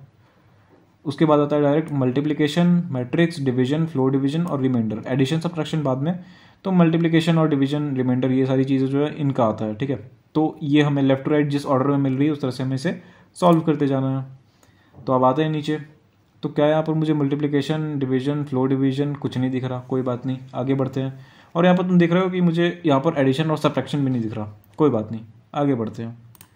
चलो एडिशन सब्ट्रैक्शन भी नहीं दिखा। शिफ्ट भी कुछ दिखा नहीं। चलो, आगे बढ़ते हैं। अभी बिट वाइज इन चीज़ों में भी मुझे कुछ नहीं दिख रहा, ठीक है? ये मैं तुम्हें बताऊँगा इफ़ एल्स वाले चैप्टर में तुम्हें पढ़ा, बता दूँगा मैं तुम्हें। ठीक है? अभी आगे बढ़ते हैं। इज़ इज़ नॉट ठीक है? सॉरी हाँ is is not not in और इन ये ऑपरेटर्स क्या मुझे दिख रहे हैं यहाँ पर? नॉट इन और इन किसमें यूज़ होता है? ठीक है? तो अगर कोई एक वैल्यू है वो किसी दूसरे वैल्यू में प्रेजेंट है या नहीं तो उसमें हम इन और नॉट इन का यूज़ करते हैं। अगर प्रेजेंट होगा तो वो इन मुझे ट्रू uh, रिटर्न करके देगा और नॉट इन तो वो फॉल्स रिटर्न करके देगा। ठीक है? तो अभी क्या है मेरे पास? कंपैरिजन uh, हाँ तो यहाँ पर इज़ नॉट इज़ सॉरी हाँ तो यहाँ पर मेरे पास is not is in not in ये सारी चीज़ें हैं और ये इस तरह के ग्रेटर देन स्मॉलर देन वाले सिंबल्स हैं। क्या इसमें ऐसा कुछ बचा? हाँ देखो, यहाँ पर ये स्मॉलर देन वाला सिंबल है, वो है और और कुछ है? देखो, यहाँ पर से अगर मैं तुम्हें बताऊँ तो इन नॉट इन है। यहाँ पर सिर्फ़ नॉट नहीं है नॉट इन है, ठीक है? तो ये चीज़, इन चीज़ों में क्या है? ये ग्रेटर देन ये लॉजिकल ऑपरेटर्स है सिर्फ़, ठीक है? लॉजिकल ऑपरेटर्स में से ये एक है तो चलो, मैं इसे यहाँ पर जैसा का तैसा लिख देता हूँ और उसके बाद ये जो है, ये सॉल्व होगा। तो ये सॉल्व होने के लिए क्या ये कंडीशन ट्रू है या फॉल्स है? ये ट्रू है, मुझे ट्रू दिख रहा है, मैंने इसे ट्रू कर दिया। आगे बढ़ते हैं। अब आगे बढ़ने के बाद हमारे पास क्या है? हमारे पास क्या है? उसके बाद मेरे पास नॉट है, उसके बाद एंड है, उसके बाद और है, ठीक है? तो अब ये तीनों चीज़ें ही हैं तो सबसे पहले नॉट का देखते हैं। कहाँ पर है नॉट यहाँ पर है नॉट तो इसको मैं पहले कॉपी कर लेता हूँ। यहाँ मैंने पेस्ट कर दिया और नॉट ट्रू ठीक है? ये चीज़ आ रहा है मेरे पास। तो नॉट ट्रू क्या है? नॉट ट्रू भाई मतलब फॉल्स चलो तो यहाँ पर मैं इसे फॉल्स कर देता हूँ। ये फॉल्स हो गया। अब क्या है? नॉट के बाद एंड है और उसके बाद और है, ठीक है? तो यहाँ पर एंड क्या है? यहाँ पर एंड ठीक है? और यहाँ पर भी एंड ठीक है? तो दोनों में से किसको सॉल्व करेंगे पहले? जो लेफ़्ट और राइट होता है, ठीक है? तो जो पहले आ रहा है, उसको सॉल्व करेंगे। तो ट्रू एंड फॉल्स यानी फॉल्स आ जाएगा। यहाँ पर मैंने इसे फॉल्स लिख दिया और उसके बाद और का ऐसे ही लिखूँगा। उसके बाद फिर से क्या है? ट्रू एंड फॉल्स इसका भी फॉल्स आ जाएगा, इसका भी फॉल्स मैंने ऐसे ही लिख दिया। अब देखो, जब क्योंकि दोनों वैल्यूज़ फॉल्स है, अब यहाँ पर एक ही ऑपरेटर बच रहा है और तो दोनों वैल्यूज़ जो है वो फॉल्स है। तो ये फॉल्स आना चाहिए, ठीक है? तो देखो, अब तक मैंने यहाँ पर रन नहीं किया इस प्रोग्राम को, मैंने बस सॉल्व किया इसे। किस तरह से सॉल्व किया है? मैंने इसे सॉल्व किया है प्रेसिडेंस की हेल्प से। प्रेसिडेंस और लॉजिकल ऑपरेटर ऐसे लगा के मैंने इसे सॉल्व किया है। तो यहाँ पर तुम देख सकते हो, मैं अगर इसे रन करूँ तो ये फॉल्स आ रहा है। किस रीज़न से फॉल्स आ रहा है? पाइथन ने इतने सारे काम किए हैं। उसके बाद ये मुझे फॉल्स बोल रहा है। ठीक है? देखो, यहाँ पर मुझे एक और चीज़ तुम्हें बतानी है एक्सप्रेशन के बाद टाइप कास्टिंग ठीक है? टाइप कास्टिंग तो टाइप कास्टिंग क्या होती है? टाइप कास्टिंग दो तरह की होती है इम्प्लिसिट टाइप कास्टिंग और एक्सप्लिसिट टाइप कास्टिंग तो इम्प्लिसिट टाइप कास्टिंग में क्या होता है? अब दोनों में क्या होता है कि डेटा टाइप का कन्वर्जन हो जाता है। ठीक है? अगर मैं इसे हटा दूँ यहाँ पर। ए में मैंने फाइव लिख दिया। बी में मान लेते हैं मैंने फाइव पॉइंट ज़ीरो लिख दिया। और मैंने सी में ऐड करवा दिया दोनों का। ठीक है? ए प्लस बी तो सी कौन सा डेटा टाइप का होगा? प्रिंट करता हूँ मैं इसे। सी को प्रिंट करवा रहा हूँ मैं यहाँ पर। तो देखो, क्योंकि ए जो है वो इंटीजर में है बी फ्लोट में है तो अगर ज़्यादा कन्वीनियंट क्या होगा? कि जो आंसर है, वो भी फ्लोट में होगा, ठीक है? तो ये काम पाइथन खुद ही समझ जाता है और इसे खुद ही समझ समझ के मुझे कन्वर्ट करके ये इसको क्या करके देगा? ये मुझे फ्लोट में कन्वर्ट करके देगा। अगर मैं इसे रन करूँ तो यहाँ पर तुम देख सकते हो टेन पॉइंट ज़ीरो ठीक है? यानी कि ये मुझे फ्लोट पॉइंट दे रहा है। तो ये यहाँ पर क्या कर रहा है? ये खुद ब खुद डेटा टाइप को चेंज कर ले रहा है, ठीक है? अपने हिसाब से। तो इसे हम कहते हैं इम्प्लिसिट टाइप कास्टिंग ठीक है? जब पाइथन जो है वो खुद से डेटा टाइप को चेंज करके दे या फिर खुद से बना कर दे तो उसे हम कहते हैं इम्प्लिसिट टाइप कास्टिंग और अगर वहीं हम करवा रहे हैं ऐसा कुछ तो फिर वो हो गया एक्सप्लिसिट तो चलो अब मैं तुम्हें एक एग्ज़ाम्पल देता हूँ एक्सप्लिसिट टाइप कन्वर्जन का. तो उसके लिए मैं क्या करता हूँ, यहाँ पर मैंने ए इक्वल्स टू लिख दिया. अब ए इक्वल्स टू यहाँ पर मैं लिख देता हूँ फाइव पॉइंट सिक्स ठीक है? और अब मैं क्या कर रहा हूँ प्रिंट करवा रहा हूँ, या फिर मैं एक काम करता हूँ बी में स्टोर करता हूँ इंट ऑफ़ ए को, ठीक है? तो यहाँ पर अगर मैं इसे प्रिंट करवाऊँ ए नहीं बी को मैं प्रिंट करवाऊँ सॉरी बी के टाइप को प्रिंट करवाऊँ, यहाँ पर मैंने बी के टाइप को प्रिंट करवा रहा हूँ तो ये मुझे बता रहा है कि ये इंट में आ गया, ठीक है? लेकिन अगर मैं सिर्फ़ बी को प्रिंट करवाऊँ तो ये मुझे कन्वर्ट करके देगा, वो क्या कन्वर्ट करके देगा? फाइव पॉइंट सिक्स की जगह पे ये मुझे सिर्फ़ फाइव करके देगा, ठीक है? तो ये मैंने खुद से डेटा टाइप चेंज करवाया, इसलिए मैं क्या कह रहा हूँ, इसे एक्सप्लिसिट टाइप कन्वर्जन अब देखो, ऐसा नहीं है कि तुम हर एक डेटा टाइप को किसी भी डेटा टाइप में चेंज कर सकते हो। मतलब तुमने फाइव पॉइंट सिक्स लिख दिया, अब मैं अगर इसे स्ट्रिंग में कन्वर्ट करना चाहूँ तो क्या होगा? ठीक है? तो ये मुझे स्ट्रिंग में कन्वर्ट करके दे रहा है। लेकिन वहीं अगर मेरे पास कोई एक स्ट्रिंग हो, ठीक है? ये एक स्ट्रिंग है, ये स्ट्रिंग बन गया। अगर मैं इसको इंटीजर में कन्वर्ट करना चाहूँ तो क्या होगा? एरर आ गया, ठीक है? तो ये हर बार पॉसिबल नहीं होता। लेकिन अगर मैं यहाँ पर 5.6 के जगह पर सिर्फ़ 5 कर दूँ तो यहाँ पर ये मुझे कन्वर्ट करके दे रहा है। तो यहाँ पर तुम देख रहे हो कि हर बार कुछ ना कुछ अलग सीखने को मिल रहा है। तो तुम्हें क्या करना है कि खुद से अलग अलग एक्सपेरिमेंट्स करके देखने हैं और सीखना है तुम्हें कि किस जगह पे क्या रूल्स काम कर रहे हैं, ठीक है? अब मैं आगे बढ़ूँ तो मेरे पास क्या आ रहा है? मॉड्यूल्स आ रहे हैं, ठीक है? अब पाइथन के स्टैंडर्ड लाइब्रेरी मॉड्यूल्स आ रहे हैं मेरे पास। कौन कौन से मॉड्यूल्स हैं? Math module random module statistics modules अब मॉड्यूल्स क्या होते हैं? ठीक है? अब मॉड्यूल्स के पहले तुम्हें ये जानना होगा कि फ़ंक्शंस क्या होते हैं। फ़ंक्शंस शायद तुम्हें पता होगा। अगर जिसके पास मैथ्स होगा क्लास एलेवेंथ में तो उसमें पहला, नहीं उसमें दूसरा चैप्टर था रिलेशन एंड फ़ंक्शन का। तो तुम्हें पता होगा कि फ़ंक्शन क्या होता है। और फ़ंक्शन मैंने ऑलरेडी भी बताया हुआ है। पाइथन फंडामेंटल्स में भी कि फ़ंक्शन क्या होता है। सपोज़ कि तुम क्या कर रहे हो? मान लो कि तुमने एक गाड़ी का प्रोग्राम किया, ठीक है? मान लो तुम्हारे पास कोई एक कार है और उसकी प्रोग्रामिंग तुम लिख रहे हो। तो उसमें तुम एक काम करवा रहे हो क्या? उसकी हेडलाइट जलाने का, ठीक है? और और तुम क्या चाह रहे हो कि अगर तुम कभी राइट टर्न ले रहे हो तो भी लाइट जले। तुम लेफ़्ट टर्न ले रहे हो तो भी लाइट जले। तुम गाड़ी का दरवाज़ा खोल रहे हो तो भी लाइट जले। और तुम लाइट जला रहे हो तो भी ऑब्वियसली लाइट जले। तो हर बार तुम चाह रहे हो कि एक काम जो है वो हो, ठीक है? तो अब तुम क्या कर रहे हो कि लाइट जलाने का पूरा एक बड़ा प्रोग्राम हर बार ना लिख के लाइट जलाने वाले को, लाइट जलाने वाले के जितना भी सेगमेंट होगा, उसको एक फ़ंक्शन बना दो, ठीक है? ठीक है, तुम प्रोग्राम लिख रहे हो, ठीक है? लेकिन उसको एक सेगमेंट बना दो, यानी कि उसको एक अलग फ़ंक्शन बना दो, और जब जब कोई एक काम हो रहा हो, तब तुम उस फ़ंक्शन को कॉल करो, ना कि तुम वो प्रोग्राम वापस लिखो। समझ रहे हो? ठीक है? तो ये एक फ़ंक्शन होता है। अगर तुम्हें फ़ंक्शन तुम, तुम्हें पता नहीं होगा फ़ंक्शन अभी होता क्या है तो चलो मैं एक एग्जांपल दे देता हूँ। अगर तुम एग्जांपल समझ ना आए पूरी तरह से तो कोई बात नहीं, लेकिन समझ में आ ही जाएगा। तो यहाँ पर मैं फ़ंक्शन का एक प्रोग्राम बनाकर तुम्हें दिखाता हूँ कि फ़ंक्शन काम कैसे करता है। यहाँ पर मैं क्या कर रहा हूँ कि एक ऐसा फ़ंक्शन बनाऊँ कि जो मुझे मेरा नाम प्रिंट करके दे रहा है। एफ़ वन नाम का मैंने एक फ़ंक्शन बना लिया, ठीक है? अभी वो इस तरह से यहाँ पर मैंने अपना नाम प्रिंट करवा लिया, ठीक है? तो अब मैं क्या कर रहा हूँ कि, चलो मैं काम करता हूँ कि प्रिंट कुछ और भी करवा देता हूँ, ठीक है? तो अब मैं क्या कर रहा हूँ, अब मैं चाहता हूँ कि ये सौ बार प्रिंट हो, ठीक है? मान लेते हैं कि ये सौ बार प्रिंट हो। तो उसकी जगह पे यहाँ पर मैं प्रिंट ये जो चीज़ें हैं, ये हर ये सौ लाइन्स इसके ना लिख के मैं क्या कर सकता हूँ? या तो मैं लूप भी लगा सकता हूँ, ठीक है? तो या तो मैं लूप भी लगा सकता हूँ या फिर मैं इस फ़ंक्शन को हर बार कॉल सकता कॉल कर सकता हूँ जब जब मुझे काम हो। लूप का क्या होगा कि वो एक ही सीरीज़ में हर बार चलेगा ठीक है? लेकिन फ़ंक्शन का क्या होगा कि मैं अपने प्रोग्राम के अलग अलग सेगमेंट पे अलग अलग जगह पे उसे लिख सकता हूँ ठीक है? कि इतने बार प्रिंट कर दो। या फिर आ, तो सही है। तो अब मैं क्या कर रहा हूँ कि इस फ़ंक्शन को कॉल कर लेता हूँ ठीक है? मैंने कॉल कर लिया। फिर मैंने मान लेते हैं ए में कुछ असाइन कर दिया ठीक है? फिर मान लेते हैं मैंने बी में कुछ असाइन कर दिया। कुछ भी काम कर रहा हूँ मैं, फिर मेरा मन किया इस काम को करवाने का तो मैंने एफ़ वन को फिर से कॉल कर दिया। फिर मैं कुछ और काम कर रहा हूँ यहाँ पर, उसके बाद मैं फिर से उस फ़ंक्शन को कॉल करवा रहा हूँ। मतलब जितना मन करे, मैं उतनी बार फ़ंक्शन को कॉल करवा ले रहा हूँ। ठीक है? तो अगर मैं इसे अभी रन करूँ तो तुम देख सकते हो, ये मैंने जितनी बार फ़ंक्शन को कॉल कराया, उतनी बार ये प्रिंट होकर आ रहा है। ठीक है? अभी मेरी आवाज़ में तुम्हें एनर्जी काफ़ी कम लग रही होगी क्योंकि क्योंकि तुम यहाँ पर टाइम देख सकते हो क्या हो रहा है। तो ये था फ़ंक्शन अभी मैं तुम्हें क्या बताने वाला हूँ मॉड्यूल के बारे में। तो क्या हो अगर मैं कोई प्रोग्राम बनाऊँ, एक ऐसा प्रोग्राम फ़ाइल बनाऊँ जिसमें मैं सिर्फ़ फ़ंक्शंस को डिफाइन करा रहा हूँ। कोई काम नहीं करा रहा हूँ मैं। मैं उसमें सिर्फ़ फ़ंक्शंस को डिफाइन कर रहा हूँ, कुछ कॉन्स्टेंट्स रख रहा हूँ, ठीक है?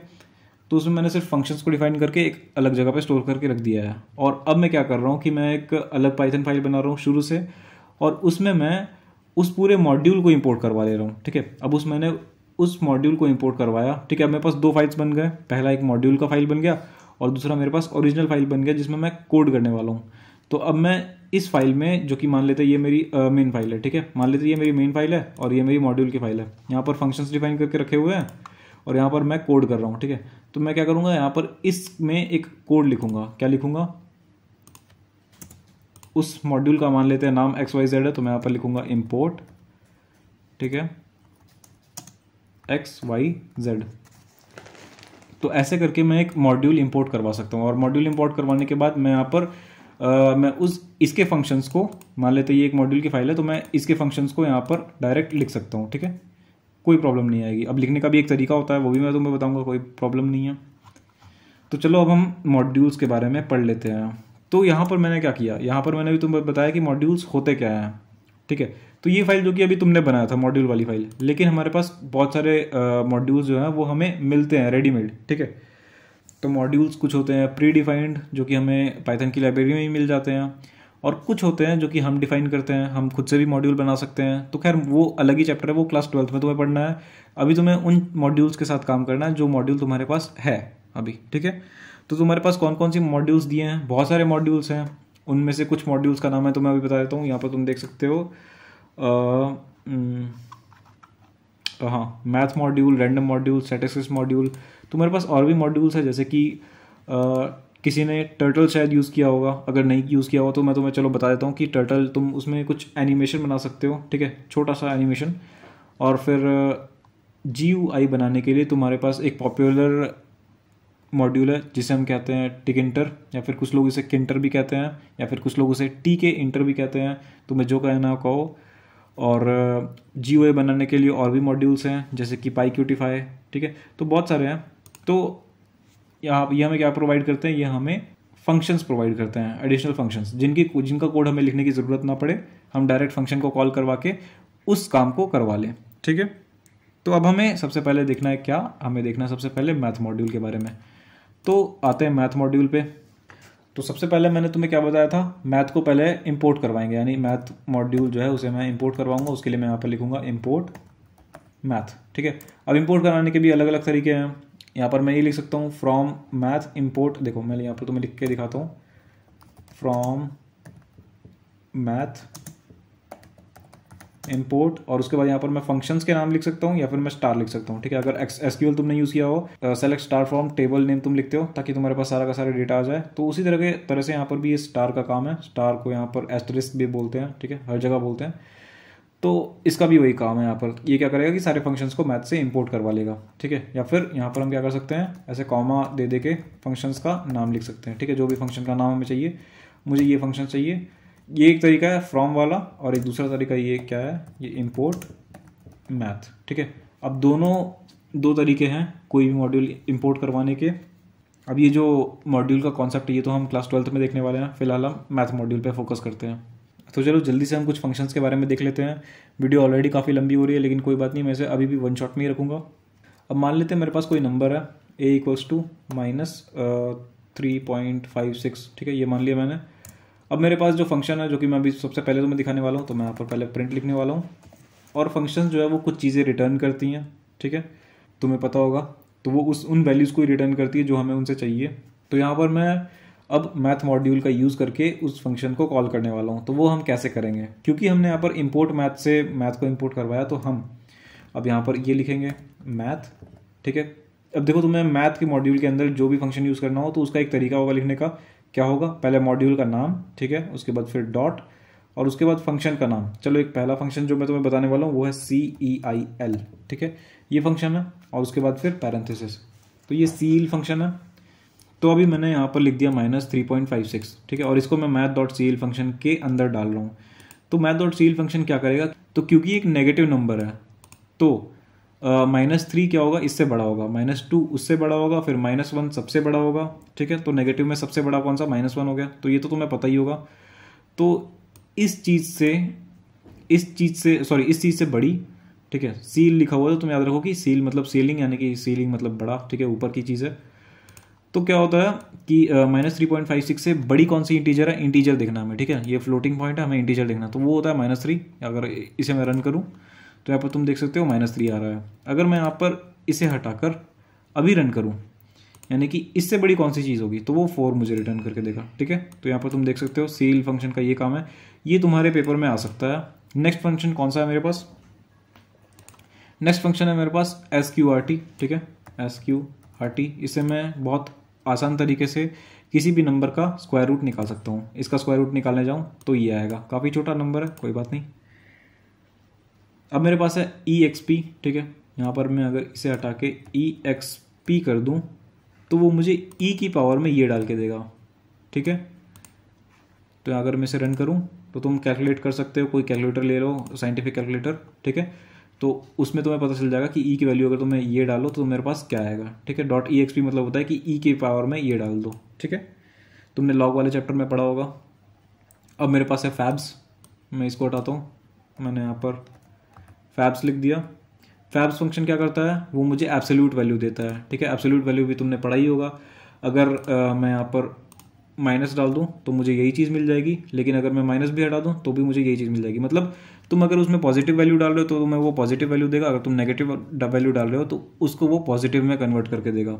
ठीक है फैब्स कौन? फैब्स ये तुम्हें क्या करता है? एब्सोल्यूट वैल्यू देता है।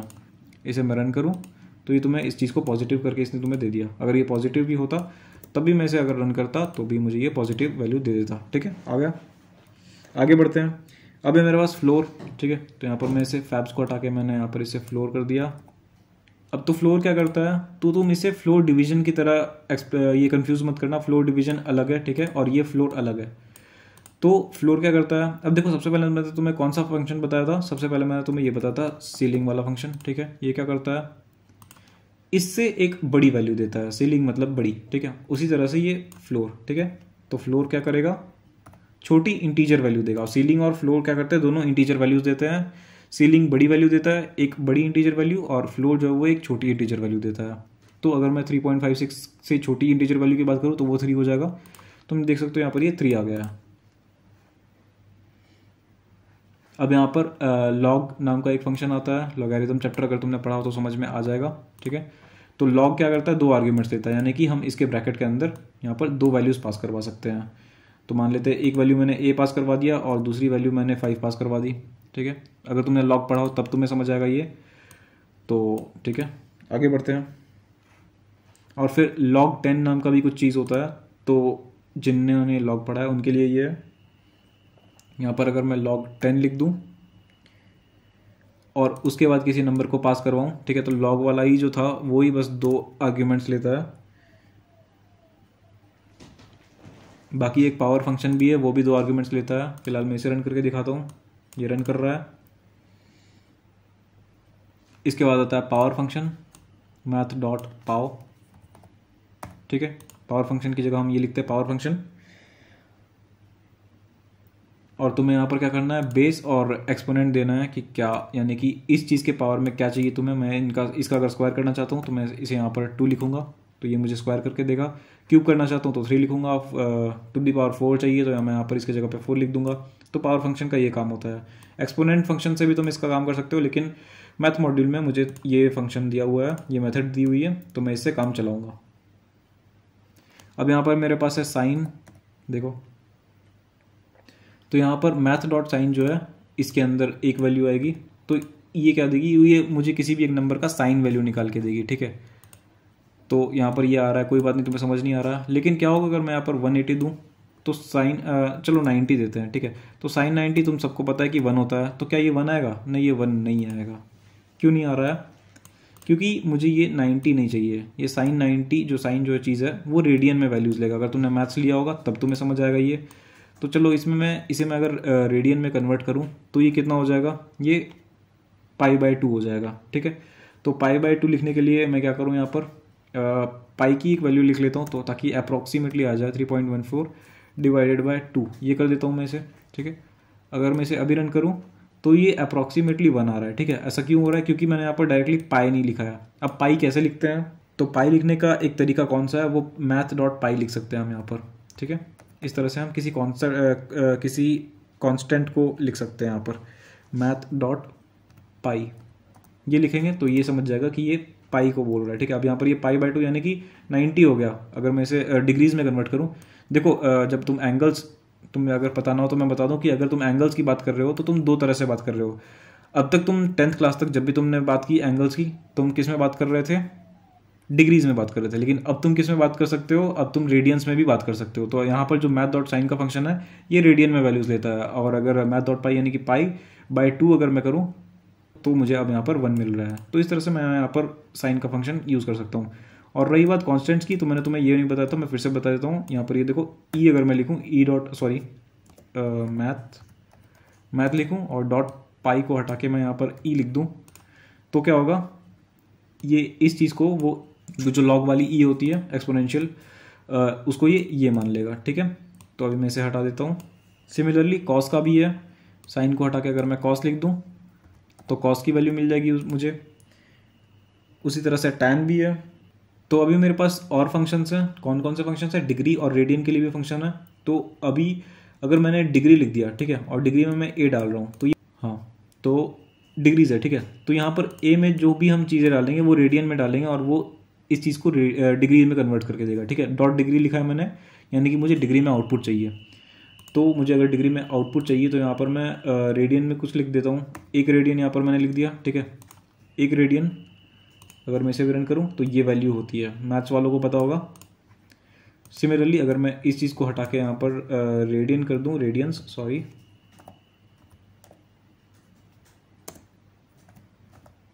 ठीक है?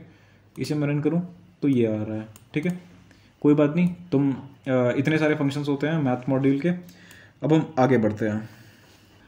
अब हमारे पास जो मॉड्यूल है वो रैंडम मॉड्यूल है। रैंडम मॉड्यूल का क्या काम होता है? ये मुझे बेसिकली रैंडम चीज़ें जनरेट करके देता है। अगर मैंने uh, कोई एक नंबर है मेरे पास कोई सेट ऑफ़ नंबर है तो उसमें मैं बोलूँ तो वो मुझे एक रैंडम नंबर चुन के देगा। ये कहाँ काम आता है? ये गेम डेवलपमेंट में बहुत ज़्यादा काम आता है क्योंकि कभी भी तुम्हें रैंडम चीज़ें दिख रही होती हैं।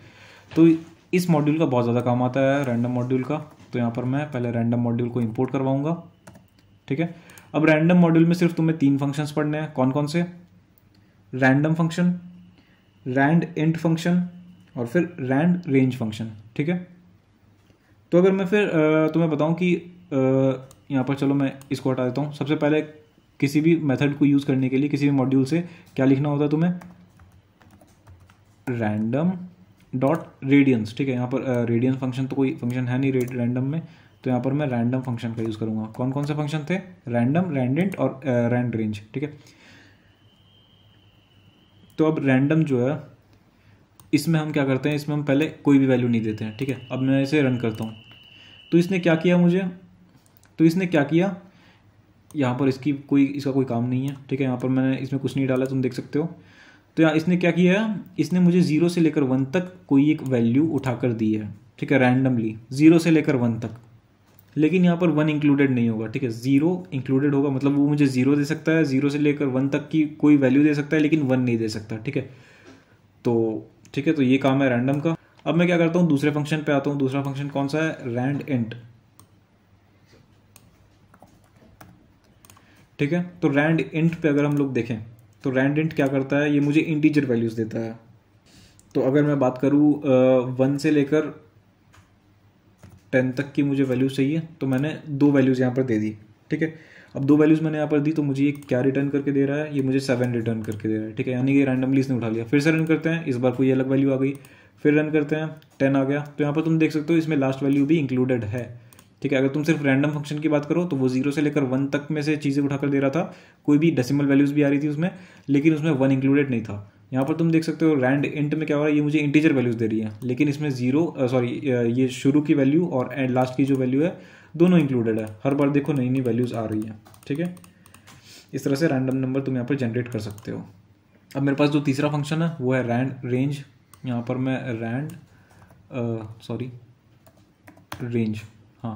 तो यहाँ पर मैंने रैंड रेंज कर दिया ठीक है? तो रैंड रेंज एक ऐसा फ़ंक्शन है जिसके अंदर हम एक वैल्यू भी डाल सकते हैं दो वैल्यू भी डाल सकते हैं और तीन वैल्यू भी डाल सकते हैं। तो यहाँ पर मैं आ, कोई एक वैल्यू डालता हूँ। जैसे कि मैंने यहाँ पर वैल्यू डाल दिया मान लेते मैंने यहाँ पर डाल दिया फाइव ठीक है? तो अब ये क्या करेगा? ये मुझे ज़ीरो से लेकर फाइव तक में कोई एक वैल्यू निकाल के देगा ठीक है? तो क्या इसमें फाइव इंक्लूडेड होगा? अगर मैं इसे रन करूँ अगर मैं इसे मल्टीपल टाइम्स रन करके देखूँ तो, तो यहाँ पर तुम देख रहे हो कि फाइव तो आ ही नहीं रहा। देखो फाइव तो नहीं आ रहा। यानी कि इसमें जो लास्ट का जो है वो इंक्लूड नहीं हो रहा। लाइट लास्ट का सिर्फ़ किसमें इंक्लूड हो रहा था? सिर्फ़ रैंड एंट में इंक्लूड हो रहा था। उसके बाद फिर किसी में नहीं होने वाला। ना ही वो रैंडम फ़ंक्शन में यूज़ होने वाला यानी कि वन उसमें इंक्लूड नहीं हो रहा। और रैंड एंट में अगर तुम बात करो तो उसमें लास्ट वाला यूज़ हो रहा था। और रैंड रेंज में जो है वो लास्ट यानी कि अपर लिमिट जो है वो इंक्लूड नहीं होती। ठीक है? तो आ, ये इस तरह से काम करता है। अगर मैं सिर्फ़ एक इनपुट इसमें दूँ और अगर मैं इसमें दो इनपुट दूँ तो ये अब क्या करेगा? ये मुझे फाइव से लेकर टेन तक के बीच में निकल के देगा। तो यहाँ पर टेन आने वाला नहीं है, ठीक है? देखो, यहाँ पर मैं जनरेट करते जा रहा हूँ, नया नया, नए नए नंबर्स यहाँ पर मैं जनरेट करते जा रहा हूँ। तो ये मुझे टेन निकाल के नहीं दे रहा। तो अब बात करते हैं, अगर मैं तीन आर्ग्यूमेंट्स दूँ तो क्या होगा?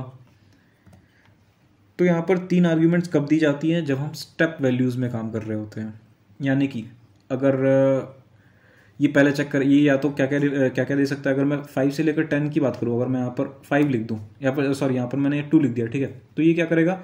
फाइव सोच सकता है ये फिर फाइव प्लस टू क्या होता है? सिक्स सेवन तो सेवन सोच सकता है ये सेवन प्लस टू क्या होगा? एट नाइन नाइन सोच सकता है ये और टेन का तो ये सोचने भी नहीं वाला ठीक है? यानी कि टू के स्टेप में आ, आगे बढ़ेंगी चीज़ें ठीक है? यानी फाइव प्लस टू यानी सेवन आएगा फिर बाद में सेवन प्लस टू यानी क्या आएगा? नाइन आएगा। यानी कौन कौन सी चीज़ें बन रही हैं? फाइव सेवन और नाइन इन चीज़ों में ही आएँगी वैल्यूज़ ठीक है? यानी टू क्या हो गई? ये स्टेप वैल्यू टू के जगह हम थ्री डाल देते हैं तो वो थ्री की वैल्यूज़ में आगे बढ़ती। फ़िलहाल हम देख लेते हैं कि क्या फाइव सेवन और नाइन में ही चीज़ें आ रही हैं। देखो नाइन आया सेवन आया सेवन आया फाइव आया ठीक है? तो देख सकते हो इन चीज़ों में ही वैल्यूज़ आ रही हैं और ये रैंडमली जनरेट हो रही हैं। तो ये था काम रैंड रेंज का। अब हमारे पास जो मॉड्यूल है वो है स्टैटिस्टिक्स मॉड्यूल तो स्टैटिस्टिक्स मॉड्यूल के लिए आ, हम यहाँ पर स्टैटिस्टिक्स को इम्पोर्ट करवा लेते हैं। और यहाँ पर मैंने इस फ़ंक्शन को मैं हटा देता हूँ यहाँ पर से। ठीक है? और क्योंकि हर बार मुझे, जब भी मुझे कोई फ़ंक्शन यूज़ करना पड़े तो यहाँ पर देखो। स्टैटिस्टिक्स डॉट फ़ंक्शन का नाम और फिर ये ये ना लिखना पड़े। तो उसकी जगह मैं क्या करता हूँ? एज का यूज़ करता हूँ। ठीक है? ए एस और उसके बाद डब्लू ठीक है? यहाँ पर मैंने डब्लू लिख दिया। तो अब मैं क्या कर सकता हूँ, जहाँ जहाँ भी स्टैटिस्टिक्स यूज़ होगा, उसके जगह पे मैं हटा के सिर्फ़ डब्लू लिख सकता हूँ। और इस डब्लू को हम क्या कहते हैं? एलियास नेम ठीक है? जब भी किसी बड़े नाम को, बड़े, या तो वो बड़े फ़ंक्शन का नाम हो, या फिर वो बड़े मॉड्यूल का नाम हो, बहुत ज़्यादा बड़ा नाम हो तो उसको तुम चेंज करके छोटा नाम कर रहे हो, ठीक है? तो उसे हम कहते हैं एलियाज नेम ठीक है? A L I A S तो ये नाम कहते हैं हम इसे। तो इस तरह से मैं सिंपली यूज़ कर सकता हूँ इसे, पहले मॉड्यूल का नाम या फिर एलियाज नेम अगर तुमने दिया है तो उसके बाद डॉट और उसके बाद फिर फ़ंक्शन का नाम और उसके अंदर कुछ अगर आर्ग्यूमेंट्स होंगे तो वो तुम डाल सकते हो। तो ये इस तरह से डालते हैं हम, किसी भी मॉड्यूल का यूज़ करते हैं। अब स्टैटिक्स में स्टैटिस्टिक्स में कौन कौन से फ़ंक्शंस हैं हमारे पास? स्टैटिस्टिक्स में हमारे पास मेन मीडियन और मोड है, जो कि हमने, तुमने बेसिकली टेंथ में पढ़ाई होगा। तो हम इनमें क्या करते हैं? हम कोई एक सीक्वेंस डालते हैं इसके अंदर, ठीक है? डायरेक्ट वन नहीं डालेंगे, हम कोई एक सीक्वेंस बना लेंगे पहले। मान लेते हैं मैंने वन डाल दिया फाइव डाल दिया, ये डाल दिया। सॉरी ये लिस्ट नहीं बन रहा। ठीक है? तो ये एक सीक्वेंस बन गया और मैं इस सीक्वेंस को इसके अंदर डाल देता हूँ ए ठीक है? और मैं क्या निकालना चाह रहा हूँ? मैं मीन निकालना अगर चाह रहा हूँ तो ये मुझे मीन मीन निकाल के देगा इस तरह से। मीन का फॉर्मूला सबको पता ही होगा मीडियन का भी पता होगा, नहीं पता होगा तो रिसर्च कर लेना थोड़ा। ठीक है? मीन उसके बाद फिर अगर मुझे मीडियन चाहिए होगा तो मैं यहाँ पर मीडियन लिख दूँगा, और अगर मुझे मोड चाहिए होगा तो यहाँ पर मैं मोड लिख दूँगा। बस इस तरह से मेरा काम चल जाएगा। ठीक है? अगर मैं इस सीक्वेंस में इसको हटाकर मैं पैरेंथेसिस लगा के एक टपल बना दूँ, ठीक है? अगर मैं यहाँ पर इसे एक टपल बना दूँ तो भी कोई प्रॉब्लम नहीं आने वाला, क्योंकि ये भी एक सीक्वेंस ही है। ठीक है? या फिर तुम एक काम कर सकते हो कि तुम इस चीज़ को, इस सीक्वेंस को डायरेक्टली यहाँ पर डाल दो, एक ही जगह पे। ठीक है? इस तरह से तुम कर सकते हो। अब हमारे पास कौन सा टॉपिक है? अब हमारे पास है एरर्स का टॉपिक तो एरर्स क्या होते हैं? एरर्स तुम सबको पता होगा क्या होते हैं। हमने कोई प्रोग्राम लिखा, उसमें बीच में कोई गलती आ गई तो उसे हम एरर कह सकते हैं या फिर कोई बग कह सकते हैं, ठीक है? ऐसी चीज़, ऐसी कोई गलती जो हमारे प्रोग्राम को रन करने से प्रिवेंट कर रही है मतलब कि वो सक्सेसफुली कंपाइल नहीं हो पा रहा है तो उसे हम कहते हैं एक बग या फिर कोई एक एरर कहते हैं, ठीक है? अब एरर्स के भी टाइप होते हैं। अब ये वो टाइप नहीं है जो तुम खुद से प्रोग्राम लिखते हुए करते हो, ठीक है? अब हम एरर के कैटेगरीज को देखते हैं, ठीक है? तो एरर के कैटेगरीज होते हैं तो कुछ कैटेगरीज यहाँ पर लिखे हुए हैं। Compile time errors compile type errors वो एरर्स होते हैं जो तुम लिखते वक्त जो गलतियाँ करते हो, ठीक है? तुम्हें लिखना नहीं आता, तुम अजीब तरह से लिखते हो, तुमने कोई ब्रैकेट इधर उधर कर दिया तो ये सारी चीज़ें जो है, वो क्या होती है कंपाइल टाइम एरर्स ठीक है? जब तुम लिखने में गलतियाँ कर रहे हो, इसमें क्या क्या आता है? सिंटेक्स एरर्स मतलब मान लेते हैं कि तुमने ये लिख दिया, इसे हटा देता हूँ मैं। ये सिंटेक्स एरर है। मान लो तुमने यहाँ पर एक सेमी कॉलन डाल दिया, अब पाइथन में तो सेमी कॉलन होता नहीं है तो ये तो गलती कर रहे हो तुम तो मैं इसे हटा देता हूँ। और, एक काम करता हूँ, यहाँ पर डॉट के जगह तुमने कॉमा डाल दिया, ठीक है? सॉरी कॉमा डाल दिया, ठीक है? तो ये जो छोटी छोटी गलतियाँ हैं इन्हें हम कहते हैं सिंटेक्स एरर्स जब तुम अपने सिंटेक्स में गलतियाँ कर रहे हो। और उसके बाद क्या है? सेमेंटिक एरर्स सेमेंटिक एरर्स मतलब कि मतलब नहीं बनाना, ठीक है? जब भी तुम कुछ ऐसी चीज़ लिख रहे हो जिसका कोई मतलब नहीं बन रहा, तुम फालतू तो बकवास कर रहे हो तो वो बन गई सेमेंटिक एरर जैसे तुम बोलोगे कि गुप्ता जी बुक को पढ़ रहे हैं तो इसका मतलब बनता है। लेकिन अगर तुम बोलोगे कि बुक जो है वो गुप्ता जी को पढ़ रहा है तो ये गलत हो गया। ठीक है? सिंपली अगर मैं यहाँ पर लिख रहा हूँ प्रिंट और इसके अंदर मैं लिख दूँ हेलो ठीक है? तो ये मुझे सिंपली हेलो प्रिंट करके दे देगा, लेकिन मगर हेलो के अंदर मैं यहाँ पर प्रिंट लिख रहा हूँ तो ये मैं क्या कर रहा हूँ? ये बकवास कर रहा हूँ मैं। ठीक है? पाइथन का इंटरप्रेटर यहाँ पर मुझे गालियाँ देना चाह रहा था, लेकिन मुझे दे नहीं पा रहा है। कोई बात नहीं। तो यहाँ मैं इसे हटा देता हूँ। तो अब तुम समझ गए हो कि सेमेंटिक एरर्स क्या होते हैं। मतलब नहीं बनाना। सेंटेक्स मतलब तुमने सेंटेक्स में लिखने में कुछ गलतियाँ की हैं, और सेमेंटिक मतलब कि तुम कुछ ऐसा लिख रहे हो जिस, जो कि जिसका कि मतलब नहीं बन रहा है। भले कि वो वैलिड है। ठीक है सिंटेक्स में कोई प्रॉब्लम नहीं है, वो वैलिड है। लेकिन उसका कोई मतलब नहीं बन रहा है। तो ये आते हैं कंपाइल टाइम एरर्स के अंदर। अब आता है लॉजिकल एरर तो लॉजिकल एरर्स क्या होते हैं? लॉजिकल एरर वो होता है कि जो प्रोग्रामर जो है, वो अगर उसने कोई प्रोग्राम लिखा हुआ है तो बीच में अगर उसने कोई एक ऐसी लाइन लिख दी है, जो कि उसके प्रोग्राम को सक्सेसफुली नहीं एग्जीक्यूट कर पा रही है, ठीक है? तो ये हो गया तुम्हारा लॉजिकल एरर मतलब कि जो तुम्हारा जो फ्रूटफुल आउटपुट है, जो तुम जिस तरह का डिजायर्ड आउटपुट है, तुम्हारा जो आउटपुट तुम चाह रहे हो, वो तुम्हें नहीं मिल रहा है, कुछ अलग ही मिल रहा है तुम्हें, ठीक है? या फिर कुछ एरर मिल जा रहा है। तो ये होता है लॉजिकल एरर ठीक है? अब ये लिखने का तरीका नहीं है ठीक है? और ना ही कोई ऐसी चीज़ है जो आ, मतलब ना बना रहा हो मतलब ना बना रही हो। जैसे कि मान लो मैंने यहाँ पर प्रिंट करवा रहा हूँ मैं ठीक है? मैं यहाँ पर कुछ चीज़ प्रिंट करवा रहा हूँ तो मैं यहाँ पर इसे हटा के ए लिख देता हूँ और मैं ए मैंने यहाँ पर इनिशियलाइज़ किया है। ए में मैंने जो चीज़ें हैं वो यहाँ पर डाली हुई हैं। तो ये थोड़ी काम करेगा क्योंकि अब तक तो इसे पता ही नहीं है कि ए है क्या तो फिर ये प्रिंट क्या करेगा ठीक है?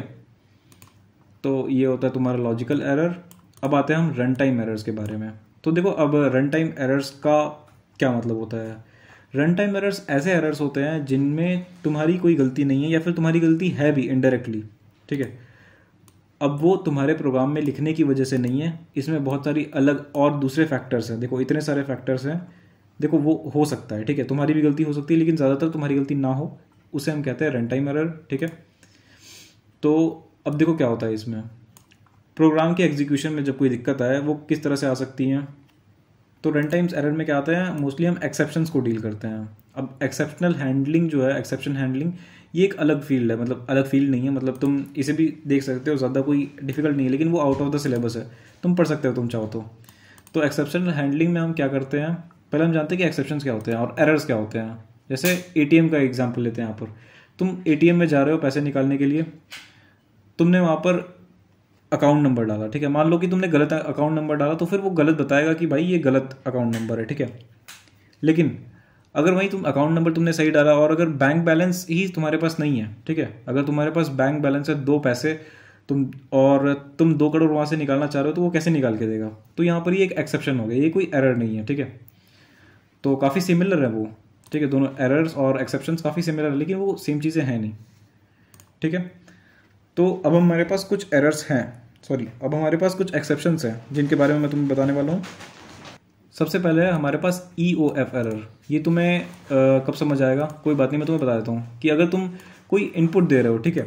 और अगर तुम इनपुट में मतलब यूज़र से तुम कोई इनपुट ले रहे हो अपने प्रोग्राम में और यूज़र ने कुछ इनपुट दिए बिना ही वो एंटर किए जा रहा है और कुछ वैल्यू नहीं दे रहा है तो वो ई ओ एफ़ एरर है। यानी कि तुमने यहाँ पर कुछ एंड ऑफ़ फ़ाइल है यानी इसका मतलब। तो कुछ इसमें डाला ही नहीं है तो फिर तुम आगे कहाँ जा रहे हो ठीक है? तुम पहले अभी का जो काम है वो करके जाओ। अब आता है आई ओ ई एरर ठीक है? सॉरी आई ओ एरर यानी इनपुट आउटपुट एरर इसका मतलब क्या होता है कि जब भी तुम इनपुट फ़ंक्शन में या फिर प्रिंट फ़ंक्शन में इन चीज़ों में कोई एक एरर आए मतलब कोई गलती करो, जैसे कि तुम गलती ना करो, किसी और फैक्टर पे वो ये हो डिपेंडेंट हो। जैसे कि अगर तुमने तुम्हारी डिस्क फुल हो रही हो, ऐसे अभी होता तो नहीं है वैसे जनरली ठीक है? तो वो आई ओ एरर आ गया फिर नेम एरर है। नेम एरर ये तब आता है जब तुम कोई एक वेरिएबल से कुछ काम करवा रहे हो, लेकिन वो वो वेरिएबल जो है, वो तुमने इनिशियलाइज किया ही ना हो, ठीक है? जैसे कि अभी हमने, मैंने तुम्हें बताया था। फिर आता है इंडेक्स एरर जब भी तुम उल्टा पुल्टा इंडेक्स डाल दो, कुछ गलत इंडेक्स डाल दो तो वो इंडेक्स एरर आता है उसमें। इंडेक्सिंग का तुम्हें मैंने बताया था कि इंडेक्सिंग काम कैसे करती है। फिर आता है इम्पोर्ट एरर ठीक है? अब यहाँ पर तुम कोई एक फ़ाइल इंपोर्ट करवा रहे हो, अगर वो फ़ाइल करप्टेड है या फिर फ़ाइल मिल नहीं रही है तो फिर क्या होगा? वो इम्पोर्ट एरर आएगा।